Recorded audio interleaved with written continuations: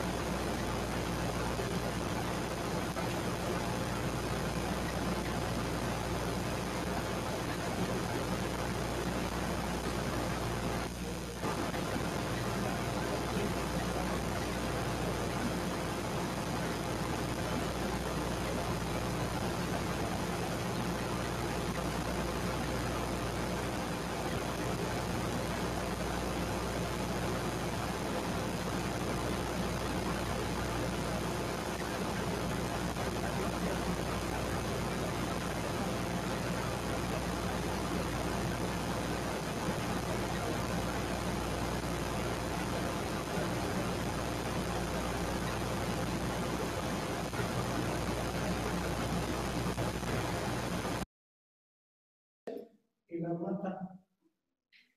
Entonces quedó con los ojos abiertos, que es muy difícil. Yo, la gente que vi que había fallecido, con los ojos abiertos es muy difícil. Entonces esta fotografía en, en Londres de, la publicaron a doble plana en el periódico más importante de Londres, que allá no publican fotos de esos casos. Pero le debo la. Si quiere ver nosotros. Bueno, es el terremoto del 85, aquí se ve el doctor latino. Este edificio que es Salinas y Rocha, aquí abajo estaba el negocio de papá que vendía cámaras y rollos. Entonces este era de humo. Y aquí había el Hotel Regis, Restaurante Regis, había dos cabarets, centro nocturno, y todo se perdió y y me dolió mucho porque lo conocí de niños.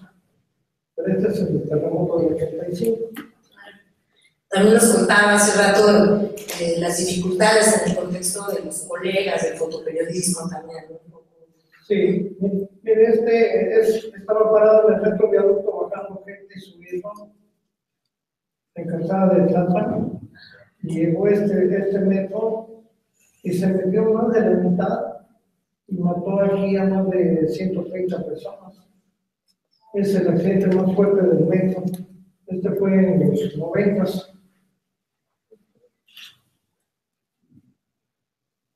esta señora se quedó este, viuda, tenía varios hijos y estaba tan desesperada que no tenía dinero que se fue caminando por lo que es ahora Lázaro Cárdenas, se subió a la Torre Latino y un descuido se salió aquí a la terraza. Y aquí apenas cabía el pie, porque yo, yo lo, llegué a ver, y es un- no tiene una cuarta de, de ancho. Y cuando yo llegué, se quedó suicidar y un muchacho de Europa se amarró aquí. Y a la hora que iba bajando para agarrarla, ella se da cuenta que la va a salvar y se avienta y la alcanza a agarrar un brazo. Se le caen los zapatos y toda la gente grita porque se paró el tráfico. Por cierto que cuando la agarra, estuvieron a punto de caerse ya los dos. La meten por esta ventana y al mes, el muchacho que la ayudó aquí a subir murió de, de, de, de este, una enfermedad por el. Y ellas, ellas se están es más o menos el piso 28 de Torre Latino. Pero aquí yo fui como unos nueve, seis hasta que arriba ya le pusieron una, una, una cortina para que no pudiera pasar por lado.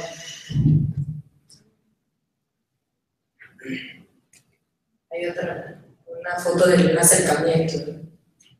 Y aquí está la gente observando cómo, cómo se queda el stand. ¿Y en este momento usted trabajaba en la prensa? Sí, este es el trabajando en la prensa. Yo empecé en periódicos, ser colaborador desde que tenía nueve años. Y yo tomaba fotografías de. Siento que está muy fuerte, ¿no? Sí, sí. Yo ¿Sí fotografías. oyen bien? Sí, sí. Hay que quiero intentar. Si quieres,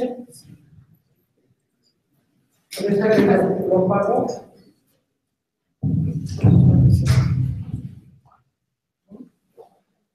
A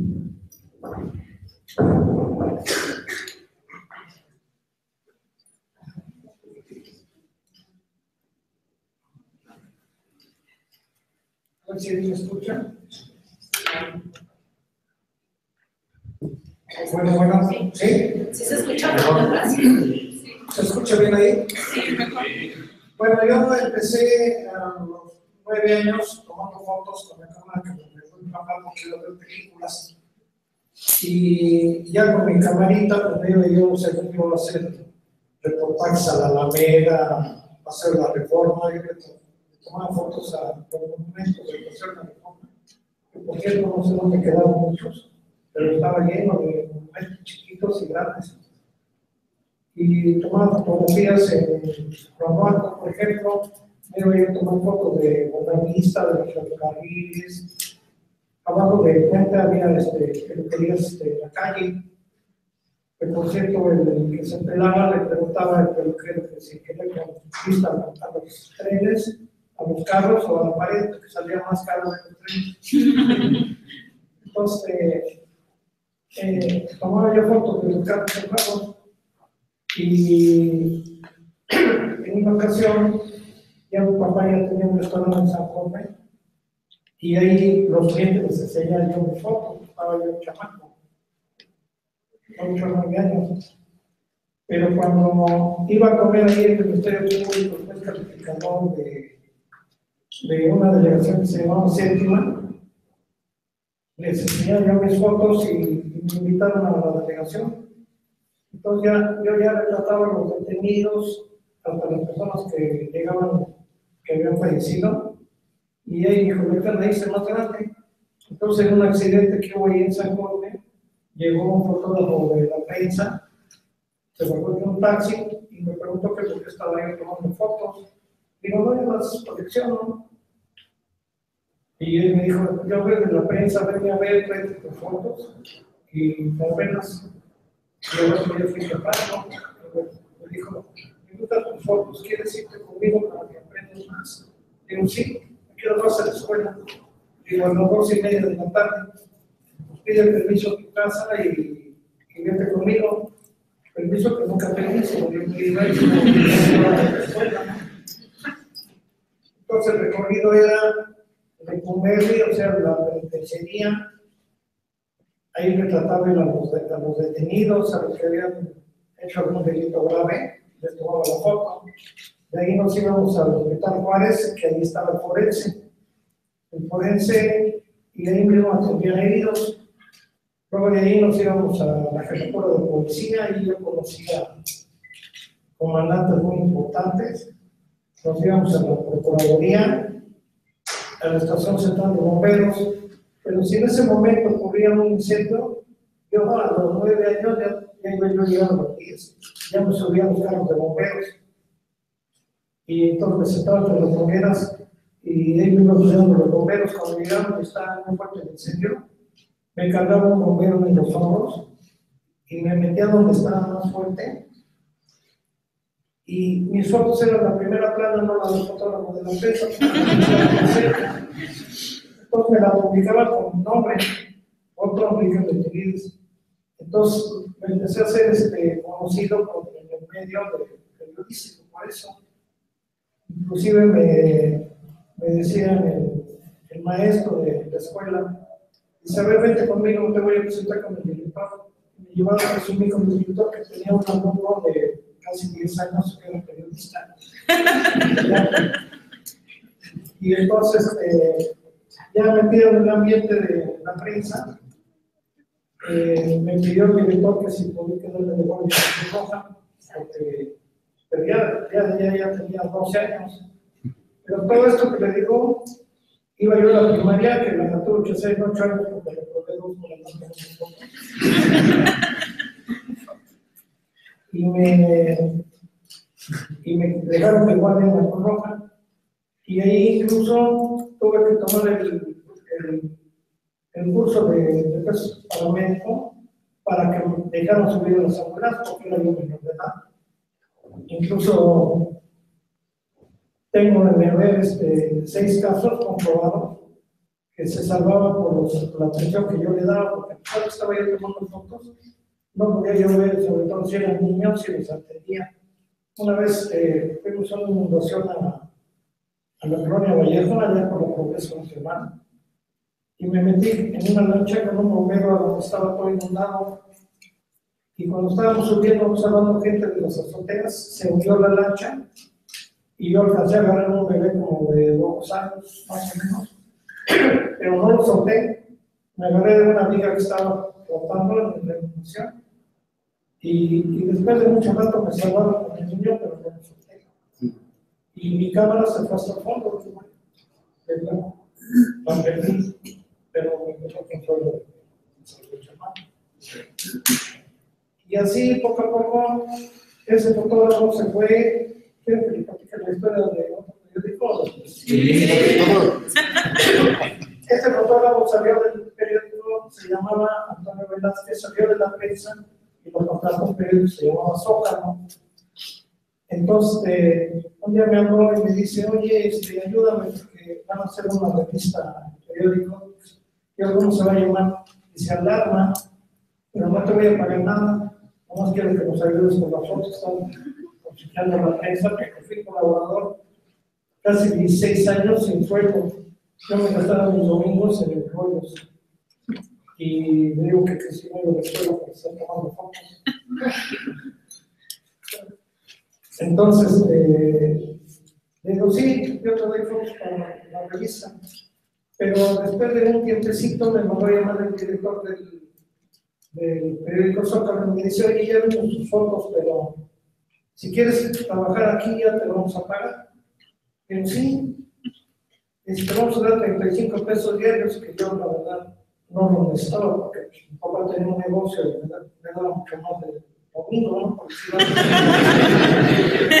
Entonces, este, ya, me, ya empecé a tomar fotos para el periódico y iba yo incendios a balaceras, pero en las ambulancias. Y un día me mandó a llamar y me dice, ¿sabes qué? Te necesito que te vayas, pero a tomar fotos con el reportero, pero de espectáculos. Quiero que vayas a los teatros, a los a los estudios de cine. Y no está bien, señor. Entonces, después supe que me habían nombrado con el reportero de espectáculos más famoso de ese tiempo. Íbamos a los estudios de cine. Entonces ahí cambié un poco la cosa policíaca o por espectáculos. Entonces íbamos a Castillo Churubusco, los estudios de Pillac, que estaba allá por la villa, donde está el canal de Televisa aquí en el periférico, que era los estudios San Angelín, los estudios Plaza, y entonces iba a entrevistar y yo hablaba con los, con los artistas de aquel tiempo. Entonces, este, me acuerdo muy bien porque cuando iba me decía, este, háblame de tú, y era Fernando Soler, era Pedro Márquez, era Cantinas, era Sara García, y nos trataban muy bien, pero el reportero nunca hablaba mal de, de, de, Nada más le decía qué está trabajando y qué va a trabajar después. Nunca se metía con la familia, ya ve que ahora le agarra la mano a un muchacho que tres hijos.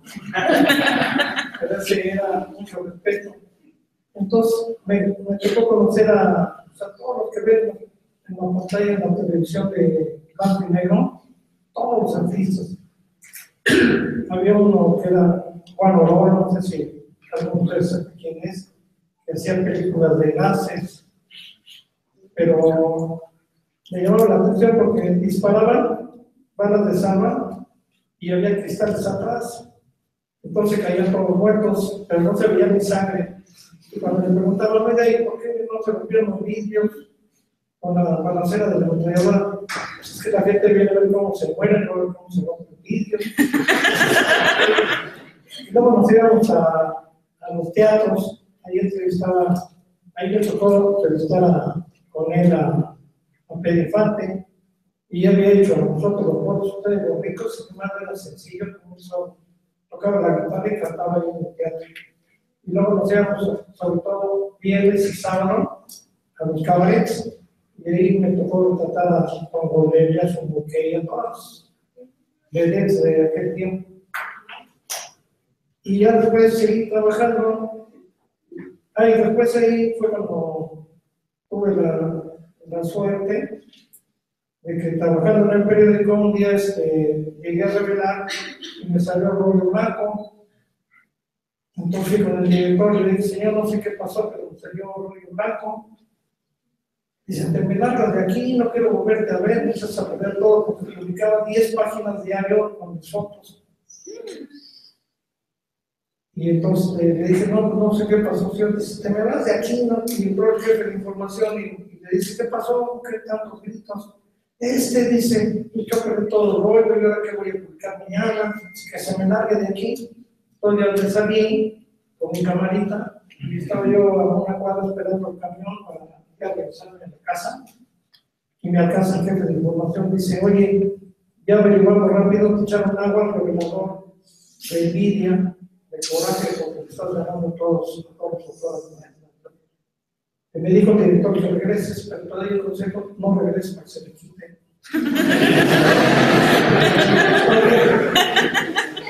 pues, ya seguía colaborando, colaborando, colaborando, pero entre los datos que yo, yo hacía entrevistas de todo lo que yo tomaba y se las daba a los reporteros que estaban de guardia.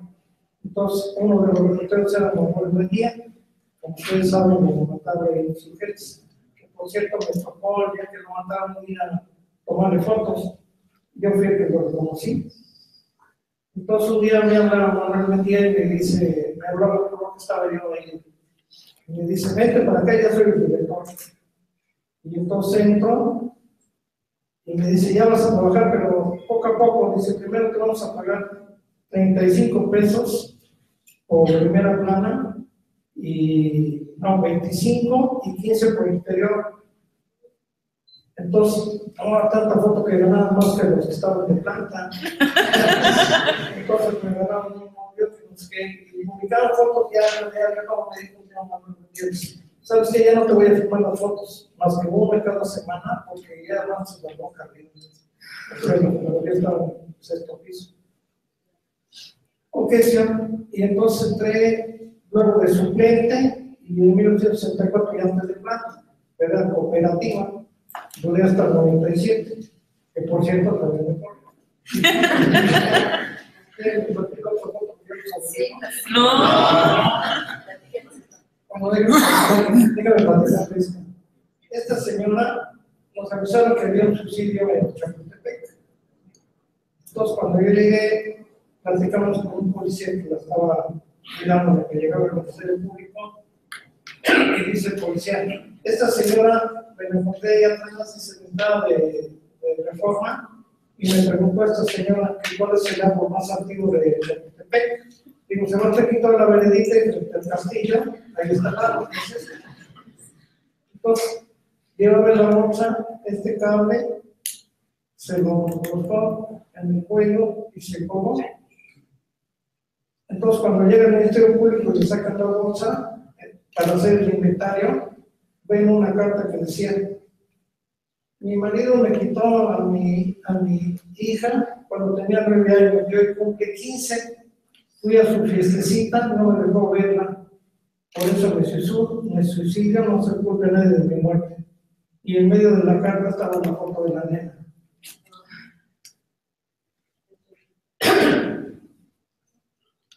Este es un camión de gas que vino a hacer tortillería a echarle gas, pero en una fuga explotó. Es allá en, en. Estos dos se iban a casar 30 días después de este hecho. Entonces le dijo a su novia un domingo, dice, te invito a Chapultepec, trae 50 pesos y vamos a alquilar la lanchita para estar ahí de novio, ¿sí? Y ahora que a las 12 del día, domingo, entrando de reforma que habían agarrado al bosque de Chapultepec para alquilar la lancha, llegan dos tipos con cuchillo y lo asaltan y dicen, dame dinero que tengas. Dice, no seas así, dice, traigo 50 pesos, voy con mi novia a alquilar una lancha y lo matan. Y yo cuando llego, la, la novia está llorando. Este es el Cruz que se ve y dice, este chamaquito lo atropellaron y yo llegaba con otra ambulancia con varios heridos de un choque y oíamos que estaba llorando y se oía rezos. Entonces tomo la foto, resulta que el niño estaba rezando, estaba rezando, haciendo la cruz y llorando para que se salvara. El niño nos estaba este, consolando, pues, y está haciendo la cruz.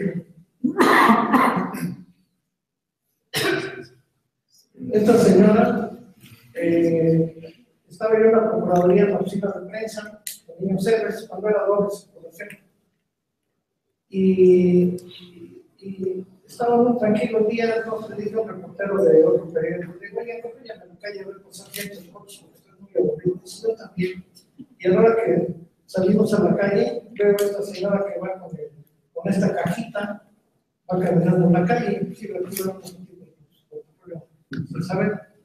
Va caminando, pero yo la vi que estaba llorando horrible y tenía toda la camisa, toda la playera llena de lágrimas. Entonces mete al forense y le estoy tomando fotos y entrega la cajita y le digo, ¿sabes qué le pasó? Dice, es que mi niña de dos años se me soltó de la mano y me lo mató un camión, lo trajeron aquí y el señor lo señalaba que le entregó la caja. Me dijo, ya se puede llevar el cadáver de su hija. El señor, yo no tengo dinero, ¿cómo le hago? Dice, pues es su problema. Dice, señor, es que mi único que tengo en el mundo es a mi hija. No tengo papá, no tengo mamá, no tengo hermano, no tengo más que la niña. Vivo en un puerto de una azotea que me dan unos vecinos en la cuarta sección de Aragón. Y entre todos le dan de comer a mí y a mi niña. Entonces salió y se quería suicidar aventándose a los carros. Entonces me platicó ella a mí que perdió la emoción y se fue caminando como autómata y cuando ella, digamos, despertó y se empezó a dar cuenta, estaba hasta el hospital general viendo una vitrina donde venden ataúdes y su mirada estaba viendo el ataúd este. Entonces Inco levantaba los brazos y le decía, Dios mío, ayúdame y lloraba a gritos, ¿no? Entonces, entre toda la gente juntaba el dinerito, compró la caja, fue por el cadáver de su hijita y se la llevó camine, camine, camine, desde niños héroes, en la colonia de doctores, hasta se pone de buena cuarta sección. Que este, platico que cuando se, le, se lo platiqué a Cristina Pacheco en el canal 11 que me entrevistó, yo porque decía que cuánto le pesaba la cajita, moralmente. Este trailer traía gas aquí, gas aquí, choca con un, choca y se hace un boquete aquí y se empieza a salir grande. Entonces yo me subo a una azotea casi enfrente y estoy tomando aspectos, pero entonces vi que toda esta gente se caía desmayada porque los bomberos cuando lo quisieron tapar se hizo más grande el hoyo de la carrocería y se empezó a salir el humo, pero se metía en las casas. Y cuando yo vi que se estaba cayendo la gente, no pensé que nada malo y me quise bajar para tomar fotos y explota la pipa. Al explotar la pipa, se, se queman, se mueren ciento, casi 130, entonces estaban aquí, y casi 1500 que estaban quemados y a mí no me pasó nada, porque me protegió el edificio. Pero incluso yo, me yo salí corriendo y me fui hasta la ambulancia estaba el chofer de la ambulancia y los dos paramédicos quemados. Y yo quise manejar la ambulancia, que ya manejaba yo un coche, pero me temblaron las piernas, entonces no pude manejar hasta que llegó alguien corriendo y bajó la ambulancia para evitar otra explosión, porque el gas de la otra pipa podía explotar. ¿Y cómo le hacía? Tomaba su cámara y, y en las calles caminaba y...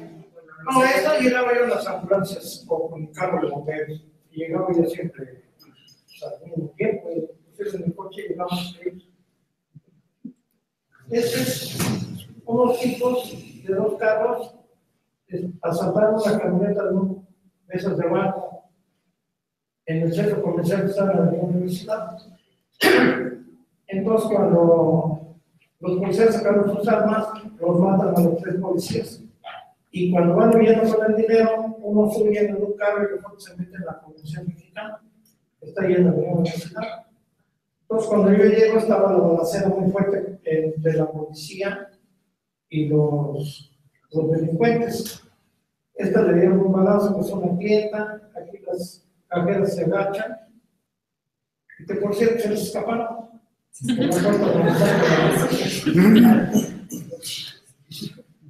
Esta fue una inundación en Polanco, pero inclusive se cayeron anuncios, hubo heridos, hubo víctimas.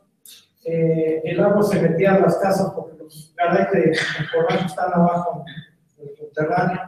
Entonces yo buscaba la foto mejor tipo película, ¿no? Y me encuentro ahí en Mazarí y Homero, dos, dos americanos que estaban jugando un soft. Entonces esta fotografía, cuando la vio el director, me dice, olvídate de todos los softs. Y además, cuando salían del agua, se regresaban y se agarraban.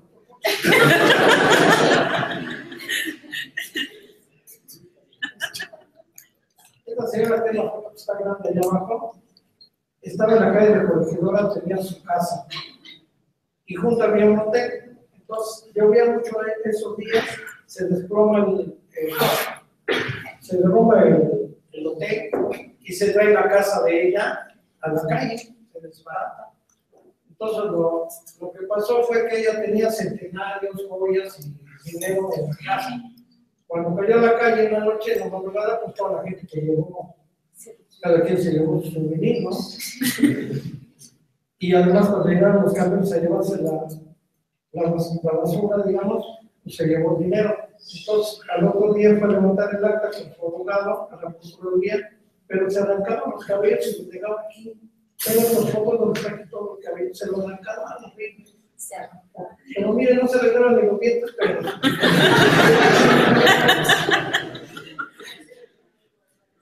Es que como para que no tomaría fotos, que es lo que la gente sabe de mí, que yo no estaba tomando fotos de los cadáveres. Si los tomaba era para el archivo, pero no se publicaba. Pero una vez notaron a una persona y la fotografía del cadáver no me servía, entonces esperé que le hicieran la autopsia y, y un, y un médico forense está deteniendo la bala con la que se lo mataron. Entonces esta fue la, la, la, la plana desde el cuerpo.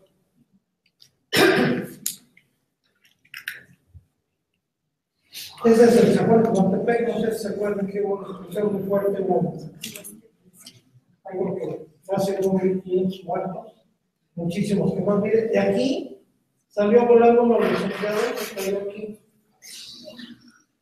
Se que voló casi dos cuadras acá. Pero hubo cosas que volaron a las casas, luego cayeron los tanques saliendo, es, es una, es una, donde hacen el gas, pues, una planta. Este,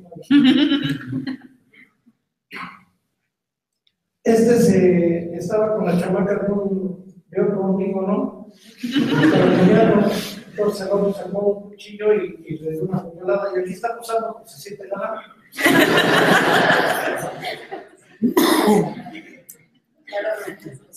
Estos son los primeros que presentó yo en, más para que vean qué carros hay de, de ese. Este es paseo de la reforma, pero está de la izquierda.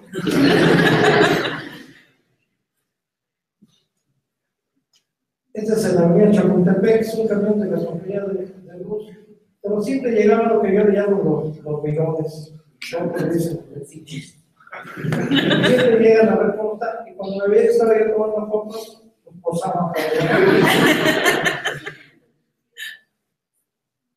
Este es otro choque también en Castellano, Zaragoza, pero aquí me, tuve que agachar bastante porque se viera que está levantando el carro, ¿no? Al otro lado de el poste.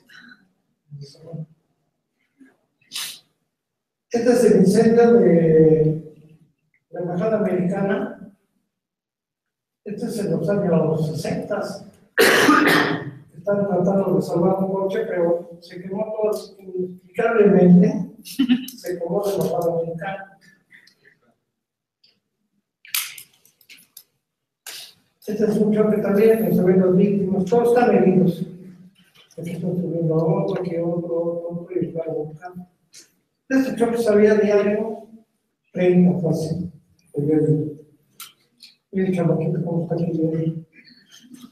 Es la carita que tiene. Este es el, el viaducto y la avenida Revolución.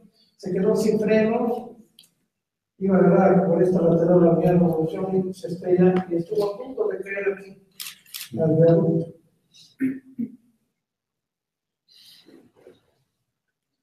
Este es un incendio allá por la por Santa María de la Ribera, pero ya estamos tomando fotos, toda, toda la manzana se, se, se acabó. Y luego algo que, que se va a derrumbar, tomé esta foto y se ven los ojos, afortunadamente se cayó, pero para atrás. Si me para adelante.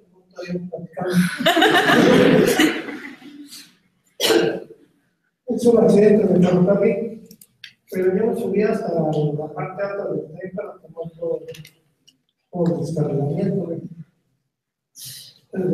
son dos trenes de pasajeros. Este es otro accidente, pero miren, yo en una foto quería que saliera todo completo, aquí se ve completo, completo, cuando termina.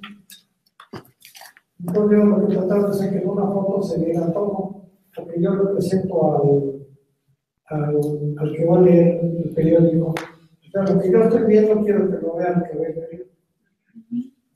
Yo voy en representación de mi idea. A ver esa foto, pues hazme cuenta que llegó ellos a ciudad.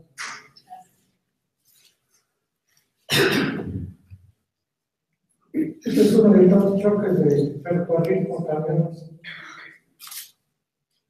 ¿Quieres pasar primero?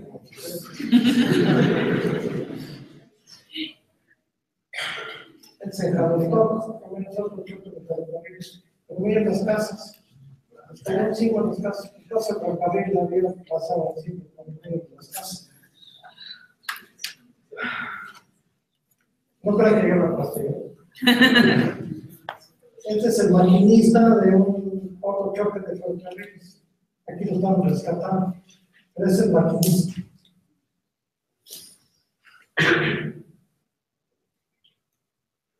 Este está en la Procuraduría, están interrogando a un asesino, y todos estos son periodistas que están tomando fotos. y aquí hay dos judiciales hablando con los periodistas. Este es un muchacho que se metió a una alberca en un campo deportivo y se ahogó, se fue hasta abajo. A pesar de que sí tiene varios metros, este, le tomé la foto, pero sí salió. Este chocó contra la casa, pero se ve. Y miro.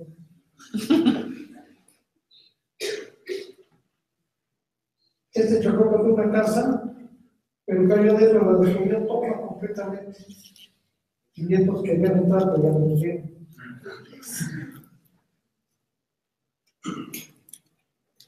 Este de cuando pasábamos también por la unidad de Sanaje. Esta es una pipa de gasolina. El impacto, pues, se cayó. Esta también está aquí abajo. Estos son tres americanos que venían en este coche. Ya el anuncio. Venían los tres bien tomados. Y este es el monumento de Pemex, que ahora ya, ya está junto porque pasa el periférico, el periférico, ¿no? Pero antes era el cruce de reforma y, y ocurrió es el periférico.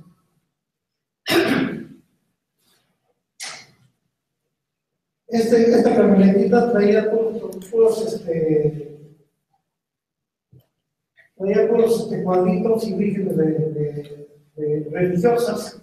Se pegó un carro y lo volcó. Nomás que esta foto, si yo la tomo con flash, se pierde todo esto. Entonces la tomé sin flash, la velocidad baja y ya queda iluminado porque era este diciembre.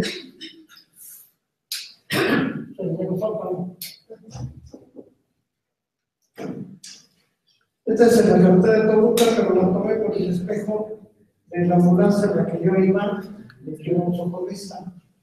Entonces, eh, me gustó la foto porque se viera por el, el espejo de televisión. Este es el Mariano Correro ahí en Tacuma. Este carro le pegó al taxi, hubo 11 lesionados y aquí llevan a uno de ellos con la pierna deshecha.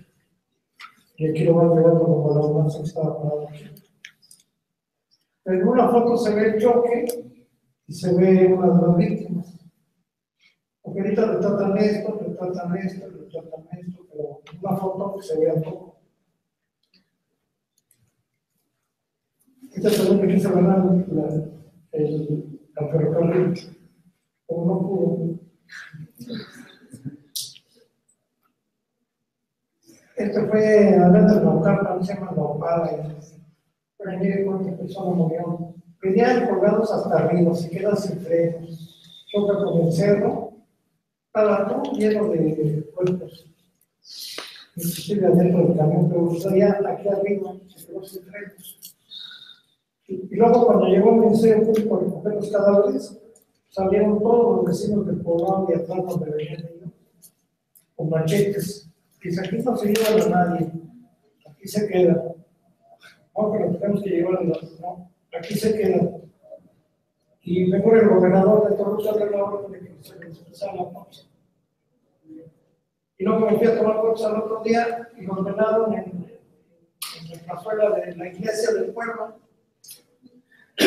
Pero no los anunciaron a ninguno porque llegaron miles y miles todos armados. Aquí no se lo dieron. Ahí se los dejaron. Pero mire cómo quedaron todos. Este es otro choque de carretera por la vaca, pero aquí adentro murió este, dos muchachos y una muchacha. Aquí se ve uno. Es otro choque.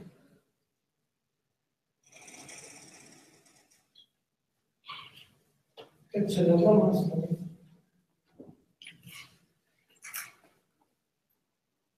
Aquí se cayó un barranco en la carretera de Cuernavaca que están sacando a la gente.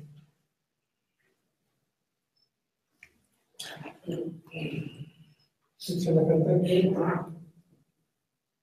Entonces, miren, en una foto se ve el accidente y se ven tres víctimas y la gente ayudando a, a de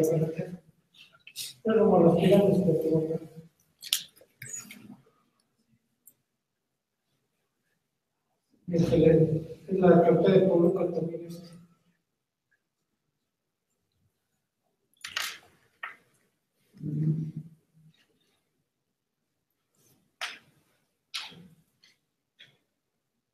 Y a pesar de que chocó, la, señora está consolando a su niña lo que los paramédicos los atienden, y me está viendo.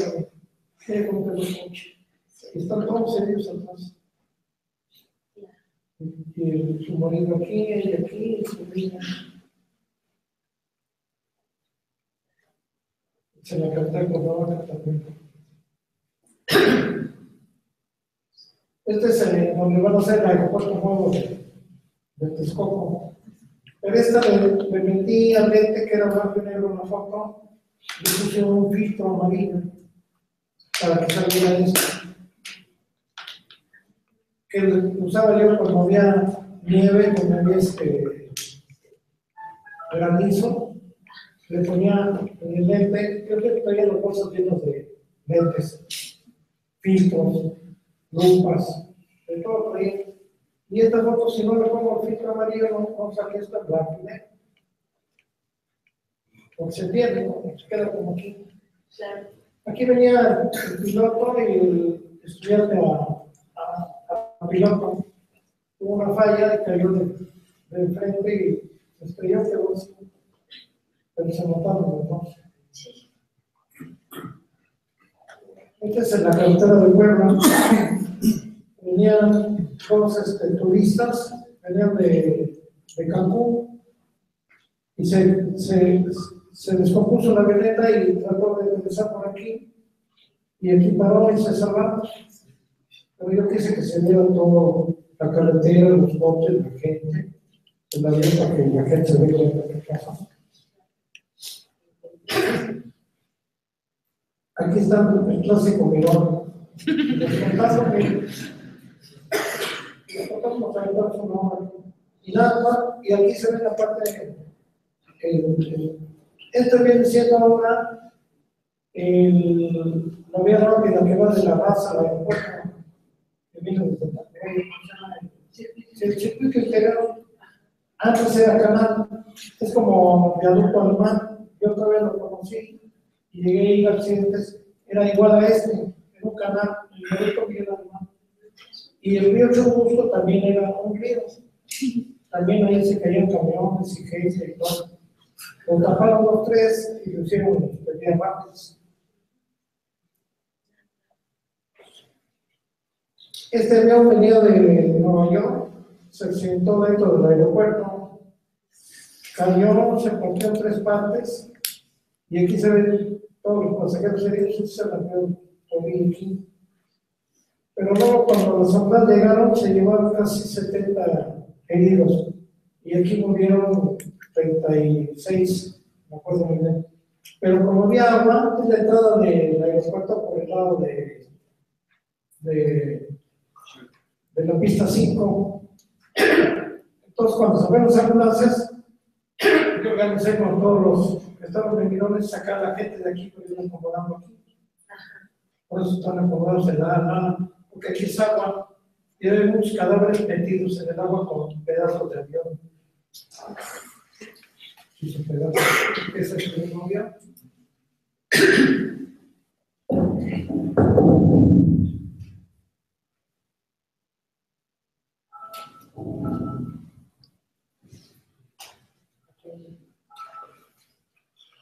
Este, este señor tenía una casa y una colonia de la villa donde está la labor. Y cada uno que ven aquí se está robando la luz para ver tele y tener luz en su casa. Y el señor era un domingo y tenía invitado, ya tenía cerveza y todo, pero no podían este, ver la tele porque no tenían luz. Entonces le ocurrió al señor agarrar un cable y ahora que lo estaba invitando, se le y ya no pudieron ver. Este se cayó el cable ahí en los cables de Tacuba, pero está vivo. Nomás que no lo pudimos sacar porque estaba chi- chicoteando. La, tuvieron que jalar para subir a la ambulancia y se salvó. Él es un trabajador de, de teléfono de México en la entrada de la carretera Cuernavaca de Toluca, donde empieza constituyente, reforma y Toluca. Estaban haciendo la colonia nueva, acaba de ver. Y estaban poniendo luz y estaban poniendo el teléfono. Y él estaba poniendo el teléfono y conecta para ver si había luz y información. Accidentalmente, ¿no? Como tenía puesto el cinturón, no cayó el suelo. Entonces yo tomé la foto que se los cables. Se vieron los cables. Es un serio, pero la tomé sin flies en la noche y aquí se ve bombero, un fotógrafo, con flies antiguos de los flies y todo este flotando. Este chocó un ferrocarril de pasajeros en la montaña de Pachuca, Hidalgo, pero teníamos que caminar muchos kilómetros hasta arriba del, del cerro. Y en el camino, una enfermera de la coja le tiene que ayudar a sus compañeros a pasar para que no se ensucien los piernas con, con el agua. Si ven, ya, ya tiene un poquito sucio aquí. Entonces, dentro de una casa se dio una caballerosidad, ¿no? Si ha sido no le ayuda.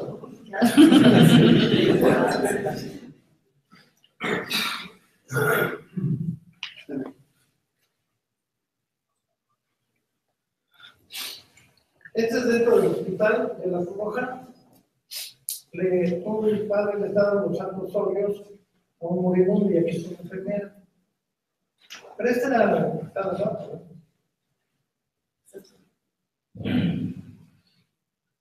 Aunque no lo crean, es el diablo. Pero miren cómo sale el agua de aquí, estas coladeras que vemos aquí. Yo llegué a entrar aquí, esto, mataban gente y la dejaban abandonada aquí adentro. Cuando se metían chamacos a jugar, los encontraban casi siempre. Pero miren cómo cae el agua de, de las coladeritas en el medio de los dos, de los dos, de ida y de vuelta del viaducto. Vamos a calcular Es otro choque en la autopista de Querétaro.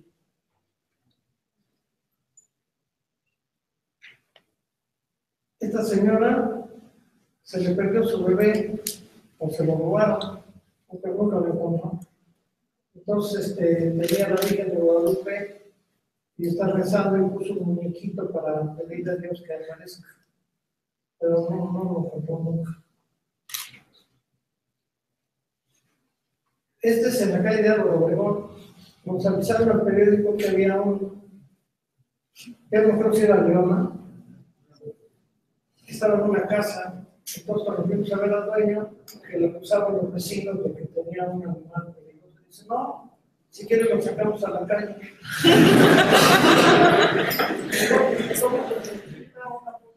Nos lo llevamos hasta la Avenida México, ahí frente a las museas, ahí ahí nos lo llevamos a, caminar y estaba mira, un perrito. Se mostró que no era peligroso. Este mató a una persona y los agentes querían que se le viera la cara. Entonces, miren, el juego de manos, uno, dos, tres, cuatro, cinco, seis manos, es lo que hizo la foto primera plana. El asesino, pero tapándose la cara.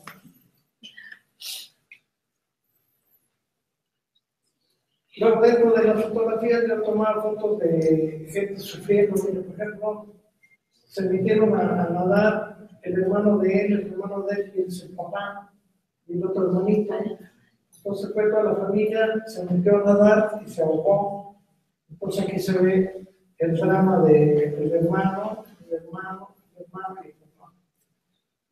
Son fotos de drama dentro de lo que se ve en esta una nota muy cerca.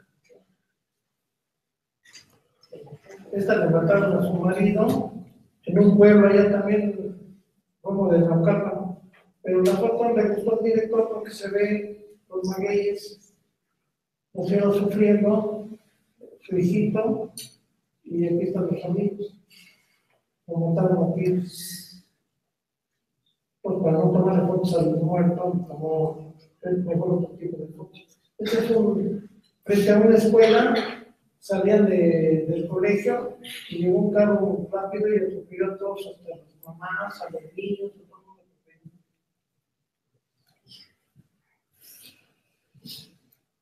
Es otro drama de levantar a su hijo también.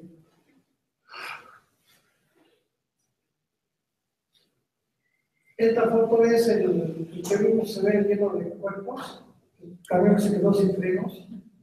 Se es los que llegaron después con los todos armados para que no se iban, están llorando de ver a todos sus familiares. También es de ahí. Este se le está quemando su casita allá por Novaco. Pero mire qué casas tenían ahí. Entonces aquí está toda la familia que se quedó sin casa. Se salvaron, pero están llorando por se quedaron ya sin hogar.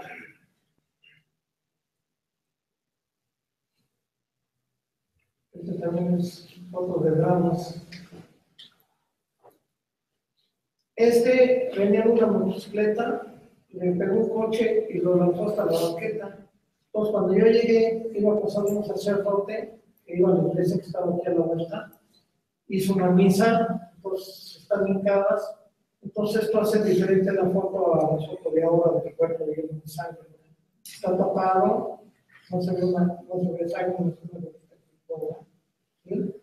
Pero es otro tipo de foto de, de instructor.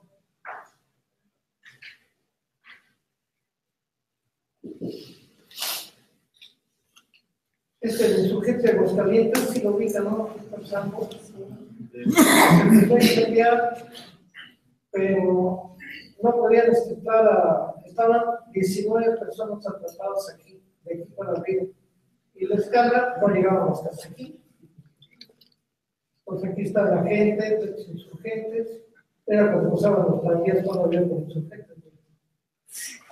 Y entonces aquí está la gente. Y debe de haber fotos, a ver, aquí.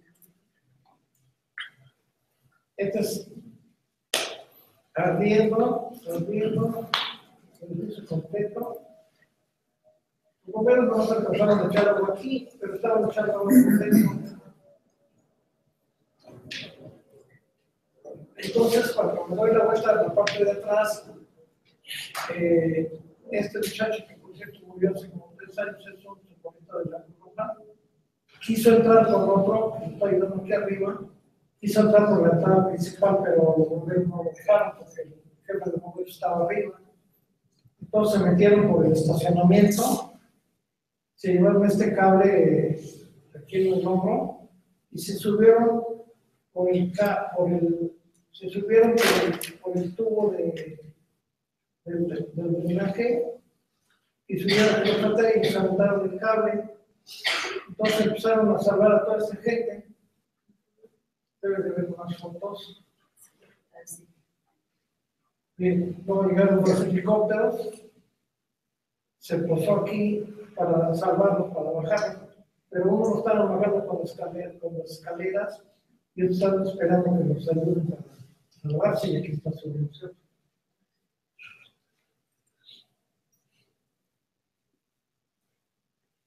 ¿Les platico este? Sí. No. Este es un, esta muchacha se llama, estaba casado con un ingeniero y vivía en esta casa.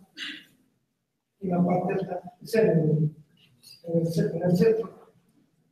Y el, marido tenía un amigo americano, lo llevaba a la casa y se, se hizo amante de la, de la esposa. Y planearon matarlo para quedarse con todo.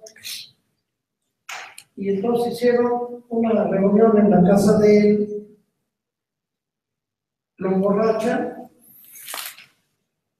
y lo matan, le dan de tiros y le rompen con una plancha, le rompen el cráneo y miren cómo quedó de, de la sangre. Entonces aquí están los peritos sacando huellas para, porque lo que hicieron ellos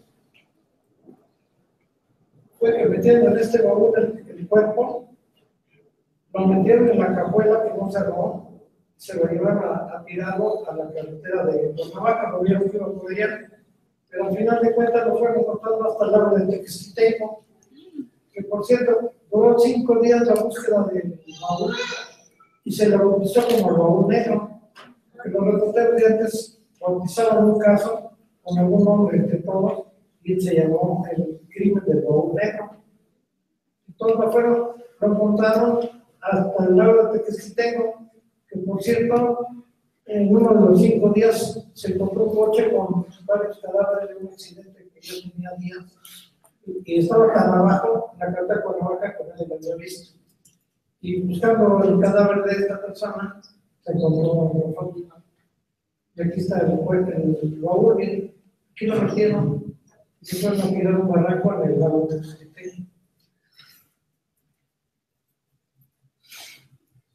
Este vestuario que está aquí, que es la plaza, había, estaba la cúpula de, que estaba- y, este se quería también suicidar y se fue caminando todo Miscuac por el periférico, llegó a Zapuaya, llegó a Jesús Nacional, se siguió y llegó aquí a, a toreo. Y en un descuido, porque ya estaba vacío, ya lo estaban desmantelando, se subió, porque viene siendo 13 pisos, entonces subió las bandidas, se paró aquí, se quería suicidar. Entonces cuando llegamos, aquí están dos bomberos y le están diciendo que, que se espere, entonces dice, no, no se acerquen. Entonces aquí uno de la Cruz Roja y de los bomberos, y él agarra vuelo para aventarse, y a la hora que, que se va a aventar, lo agarra y lo salva. Se lo agarran y lo salvan, luego aquí lo tuvieron que inyectar, con el ejército lo bajaron lo salvaron. Así que no nada más había todos. Esto es lo que yo llamo los bidones en el nicho. Eh, Esta es calzada de Tlalpan, que ahora pasa el, el metro, cuando había tranvías. Entonces, todos estos están aquí, son bidones, ¿eh?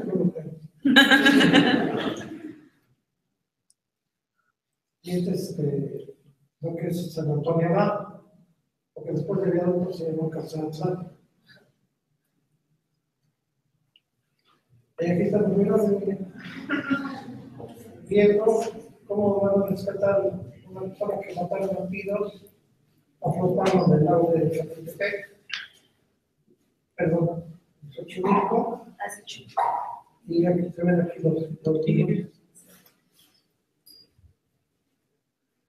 Aquí están los melones, todos están viendo, este es echa- echando aire de la puñalada que viene del estómago, lo que ya no fue la abundancia.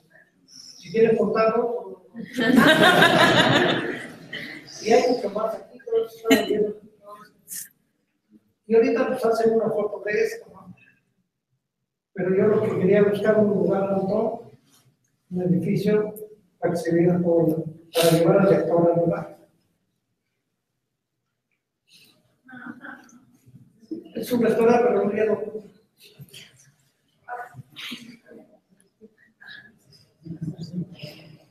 Un taxi. Pasa usted.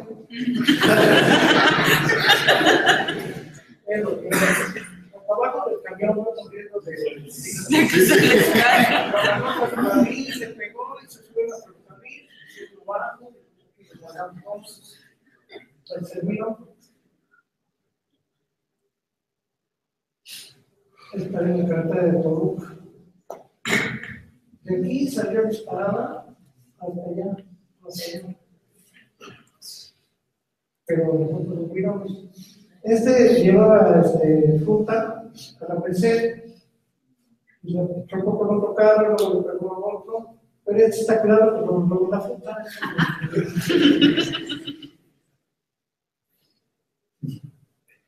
Este es el, el periférico, pero miren los miramos.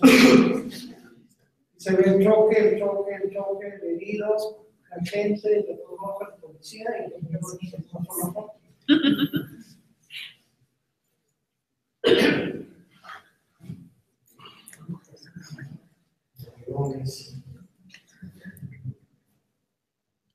Este, tengo muchas fotos iguales. Cuando había un accidente, llegaban todos los mirones, pero siempre llegaba uno a vender helados. Si unas paletas, era helado. No llegaba otro, llegaba otro, y acabó, vendía más que nunca. Pero este está. Se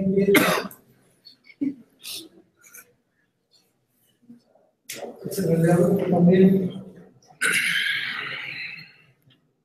No sé cómo viene de rápido.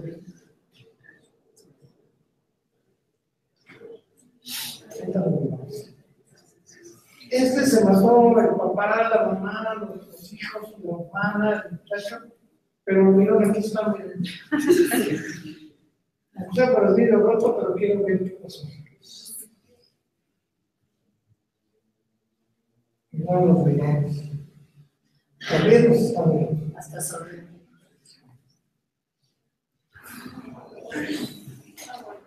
Además, como quedó mucho. Y aquí está dormido. Este tiró toda la casa. Mató al señor que estaba dentro de la casa. Pero aquí están los policías, aquí están los mirones. Se subieron a los camiones saliendo.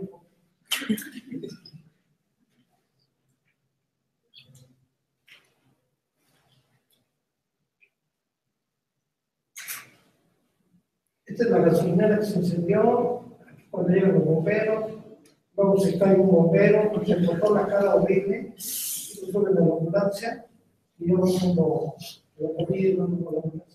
Este fue la explosión en Vallejo, hubo como 15 heridos, se destruyó toda la, todo, es una vecindad, pero lo que me llamó la atención es que este bombero rescató, entre lo que rescató, rescató este cuadro de la Virgen y no se rompió el vidrio. ¿Por qué?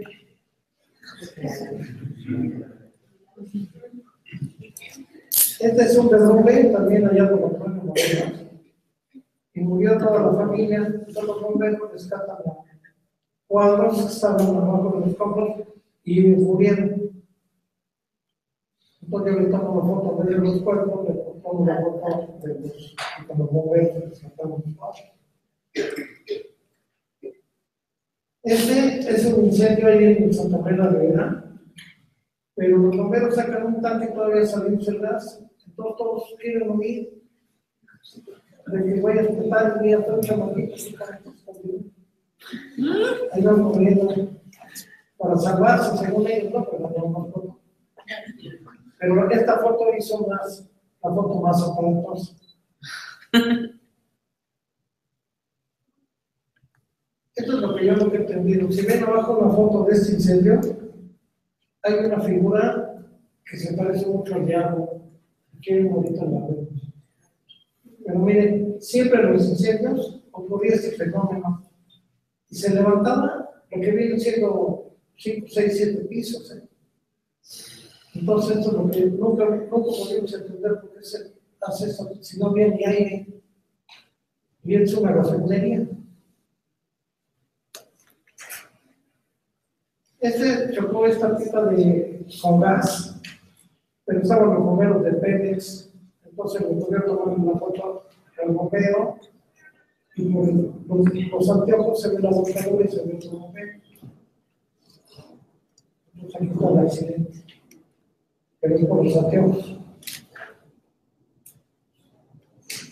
Este es el tunerano que explotó la refinería. Había una fuga aquí entonces metió el ingeniero con cinco trabajadores, y como querían reparar, explota. Y bueno, se encontraron, se. Y si ven, después que me tocó ir a, a la búsqueda, y esa no, no digo yo, lo dice que se parecía que una carita porque el ingeniero tenía una niña. Entonces parece ser una carita, ¿verdad? y le veo todo por Pero esas todas las fotos de, de uno incendio se ven caras. Que no, no me creo.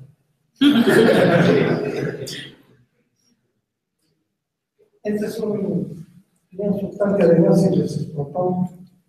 Pero los bomberos no pueden apagarla hasta que se saca todo el gas, porque si lo, si lo, si lo apagan, sigue la fuga y explota más fuerte.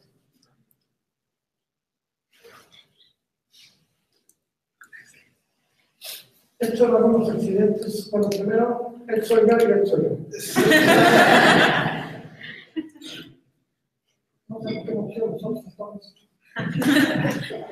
Y es como me tenía que vestir de médico cuando estaban operando a alguien para poder tomar las fotos. Lo malo es que no me podía salir hasta que acabó la operación.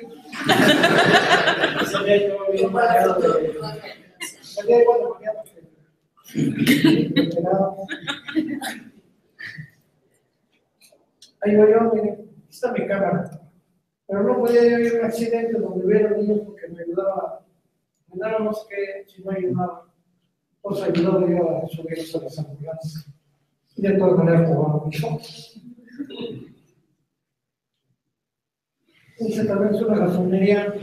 Otra de las que se metieron a, a echarle gasolina y por no pagar se arranca el coche y rompe la manera que va tanque de gasolina y se desbarraba todo la gasolina y se prende.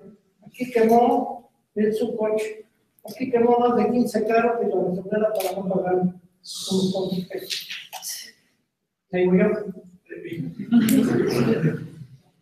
eso yo.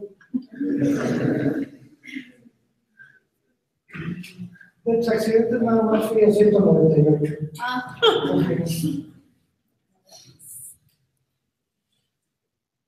ahí está.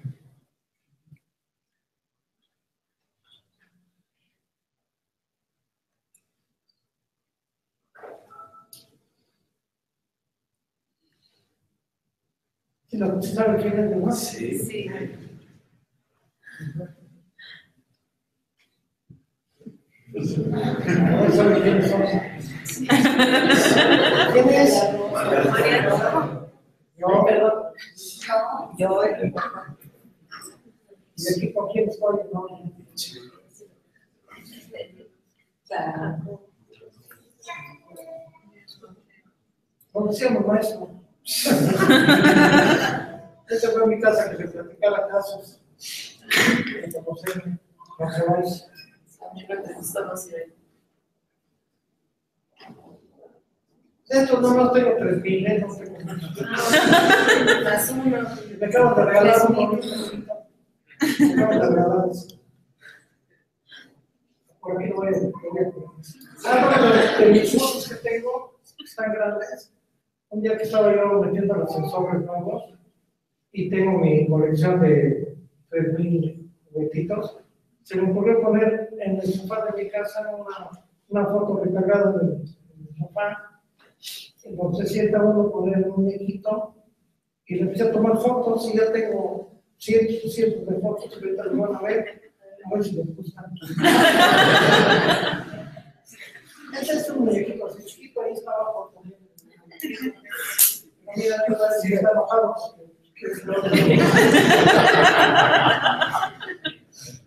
Este aquí. Aquí está el Acá, lado. Otro lado. Acá está.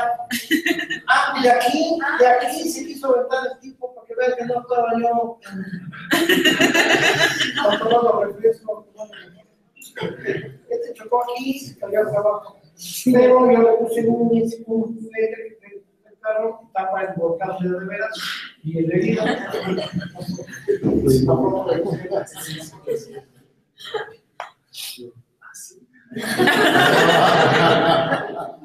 Esto me sacó al delincuente. Mejor, esto es un asalto en también en comercial mexicano. Si no me equivoco, es los pilotos que estaba tirado a la policía. Claro sí. Sí, aquí están las cajas. Mire cómo llegó la dice a agarrarlos.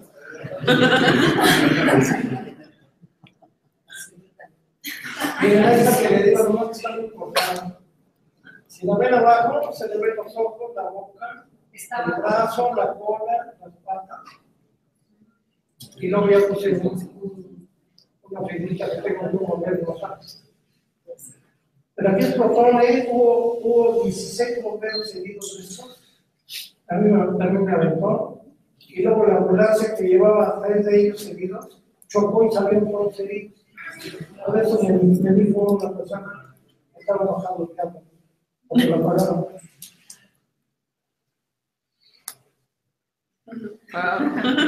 Esta es una figurita que un relojito.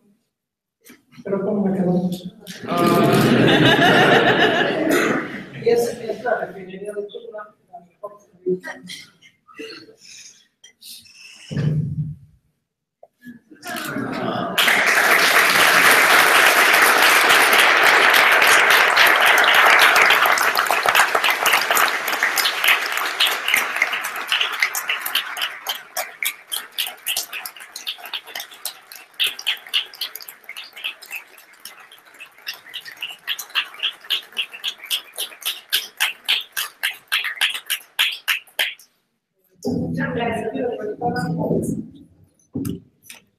Seguramente le quiero preguntar. Muchas cosas allá. No sé qué es un problema. Tenemos otro micrófono, ahorita se ¿Ah, los sí? damos, sí. ¿Qué me quitaré No se este o A ver si quieres. este un aquí? favor, es que si se paran se nos meten en la toma que estamos transmitiendo. Se lo pongo los-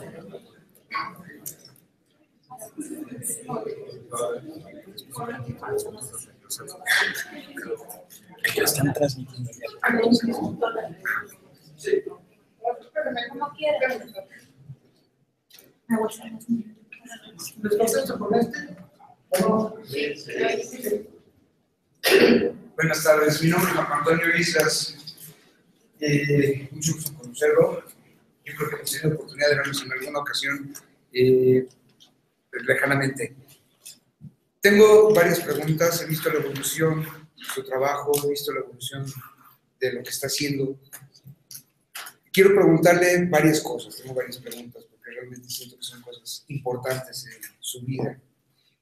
La primera, ¿cómo ha sentido la evolución del riesgo del bombero, del paramédico, a no tener un casco, a no tener más que la ropa de civil, un brazalete, al momento que llega una balacera después de tener cascos, tener brazaletes, tener diferentes tipos de equipos, las ambulancias, ¿cómo se ha sentido esa evolución de ver una ambulancia de hace añísimos a ver una ambulancia actualmente?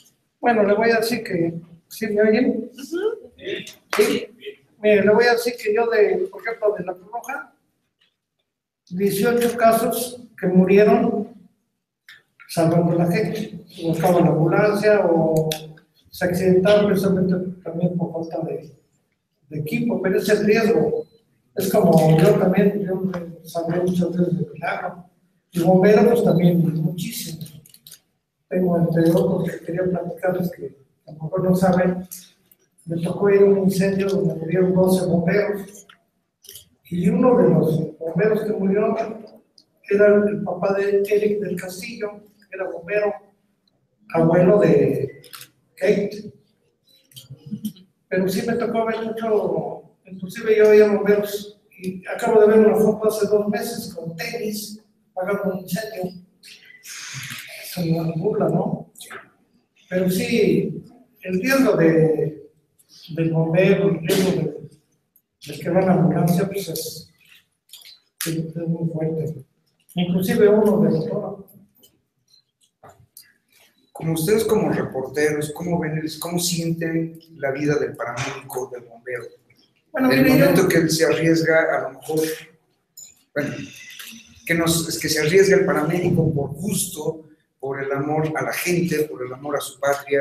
¿Qué es lo que sienten ustedes como reporteros al ver a toda esa gente arriesgando sus vidas en esos asuntos? No, es que yo conocía, eran amigos míos, inclusive hubo gente que, que iba de voluntario, tenían su trabajo, tenían su familia, iban de voluntarios y morían en algún accidente. Pero ellos este, lo hacían por ayudar a la gente. Inclusive había bomberos voluntarios que querían. Pero es un trabajo no muy bien pagado, muy riesgoso, pero la gente le gusta ayudar.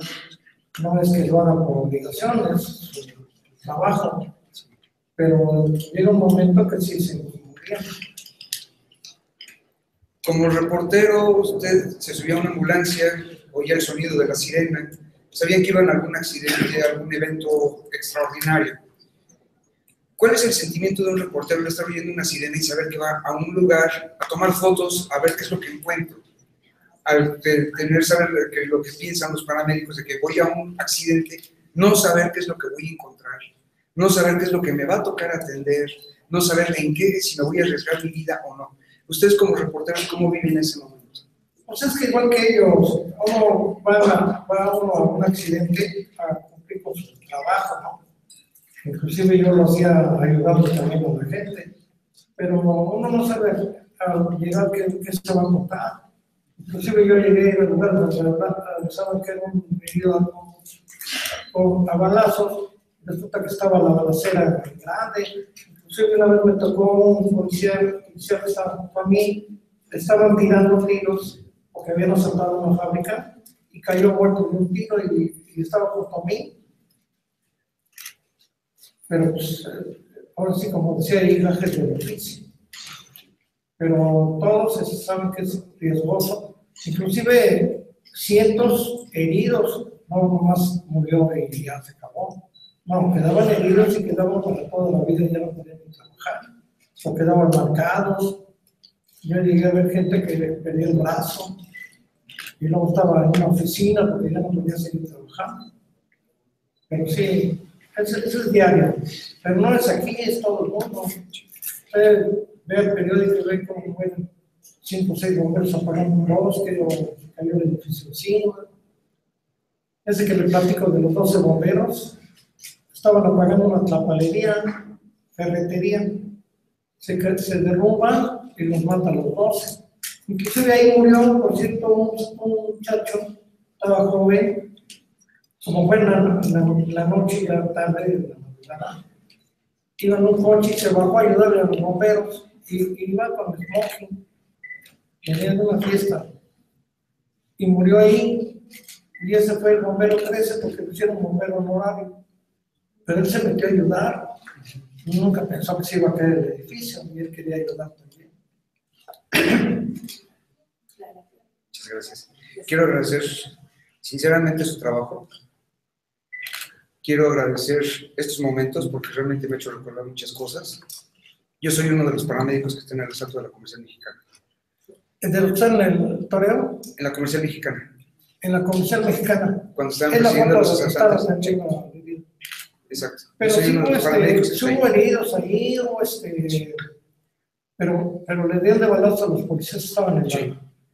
Desafortunadamente No son me acuerdo si subían o bajaban el dinero, pero los asaltaron, los los asaltaron, balacearon. los balacearon. Y luego se nosotros- metieron a comercial mexicano un grupo. Sí, a nosotros, otro nos llamaron, a nosotros nos llamaron a la comercial mexicana y nos dijeron que había una persona desmayada. Cuando llegamos, llegamos a la balacera también. Pero estaban los tiros y, la, y los cajeros agachados, Sí. ahí está la foto. Ahí estamos, exactamente. Y creo que la foto de esta que le el de chiste, Ajá, está uno de mis compañeros, está saliendo. está atrás, ¿verdad? Está Está saliendo de-. Está saliendo de la comercial pasando por el porque ahí Sí, pero- por, los- pero- por ahí sacamos a los Pero lesionados. sí se les escaparon. Sí. Sí, ahora sí que nosotros, No, él. pues, a los Ahora, policías, ahora déjenme decirle, platicar. Yo trabajando, el más grave me dio un infarto, trabajando. Tengo siete costillas rotas trabajando. Me atropellaron dos veces, me caí a barrancos, me quedé perdido en el Popocatépetl en un accidente aéreo. ¿Quién? Ah, pues ahí está. ¿Cuál mi compañero, yo sé que está volteando hacia el lado, de- lado, que está sosteniendo la mano de la señora. ¿El lado derecho o- Sí, Está con la exacto. Yo estoy sosteniendo la mano de la persona lesionada. Sí, él soy yo. En el 88. Mira, ahí está. Mira la foto, Yo ahorita, ahorita tengo cinco- No, ahí, ¿cuántos años tiene esa foto? Fue en el 88, yo tenía 22 años, ahorita tengo 50, fue hace 30 años. En 88. Sí, Y ahí 88. tengo fotos incluso de los fines de los 40. Porque yo era un niño cuando empezaron a tomar fotos. A mí me tocó estar en todos esos eventos, me tocó la- el cine de la Cineteca, me tocó estar presente en y Huatepec, ahí también estuve, y este, todos los No, pero en y. Guatepec, oficialmente nunca se supo cuántos murieron, No, pero estaba, El accidente. de hecho fue una, de fue una cuestión, fue una cuestión ahí en San Juan y Huatepec, que todo, usted como reportero lo debe saber. El gobierno, desafortunadamente, cuando se empezaron a llevar las cifras de los lesionados, de los muertos, de todo lo que hubo, este, llegó un momento que nos dijeron, ¿sabes qué? Tus partes de servicio y todo eso pues, no existen, o sea, no existe nada el día de hoy. bueno, yo de lo que me acuerdo que antes eh, había muerto, pero. Sí. sí, Y si había cuatro mil, decían que eran 20. sí, No, es que así es. así nos lo manejamos. exacto. Y heridos, pues había algunos heridos que se fueron a su casa porque no tenían nada y les faltan las piernas, y todo bien grave. Sí. Pero ese ya es otro cuento. Yo Pero sí, quiero- uno se arriesga mucho. Yo tomando fotos no, no sabe qué de existe.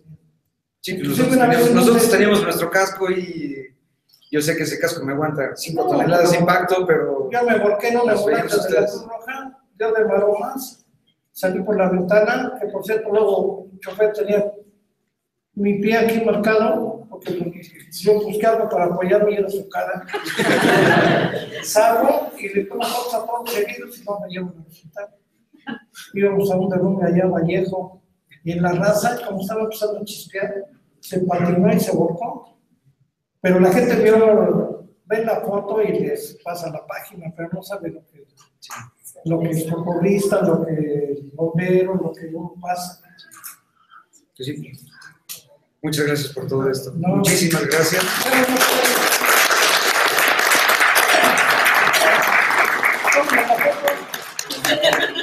Una foto con la Una foto con la foto. Le vamos a imprimir la foto Ah, gracias, sí, gracias. Vamos a hacerle los datos para, vamos a lo mejor. Sí. ¿Alguien quiere hacer otra pregunta? Por acá, por acá. ¿Por acá?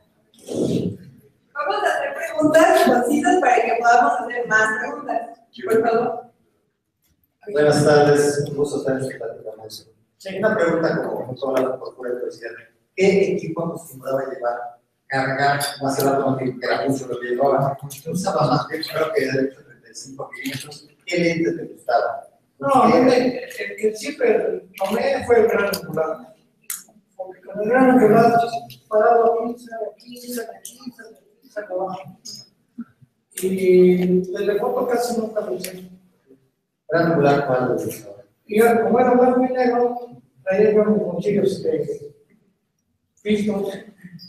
¿Película que? Uno de 35 milímetros. Así. Sí, pero primero era blanco y negro.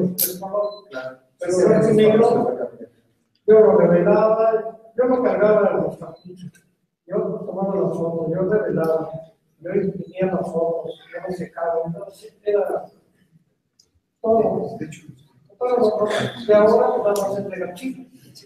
Y antes teníamos que editarla, teníamos que editar las fotos, ¿no? Y además era como que teníamos que poner velocidad y viajar, ¿no? Y ahorita no vale ahorita, las fotos. ¿Hace digital más? Ahorita nada más con los amigos. Ahí está mi camarita. Gracias. ¿Otra pregunta?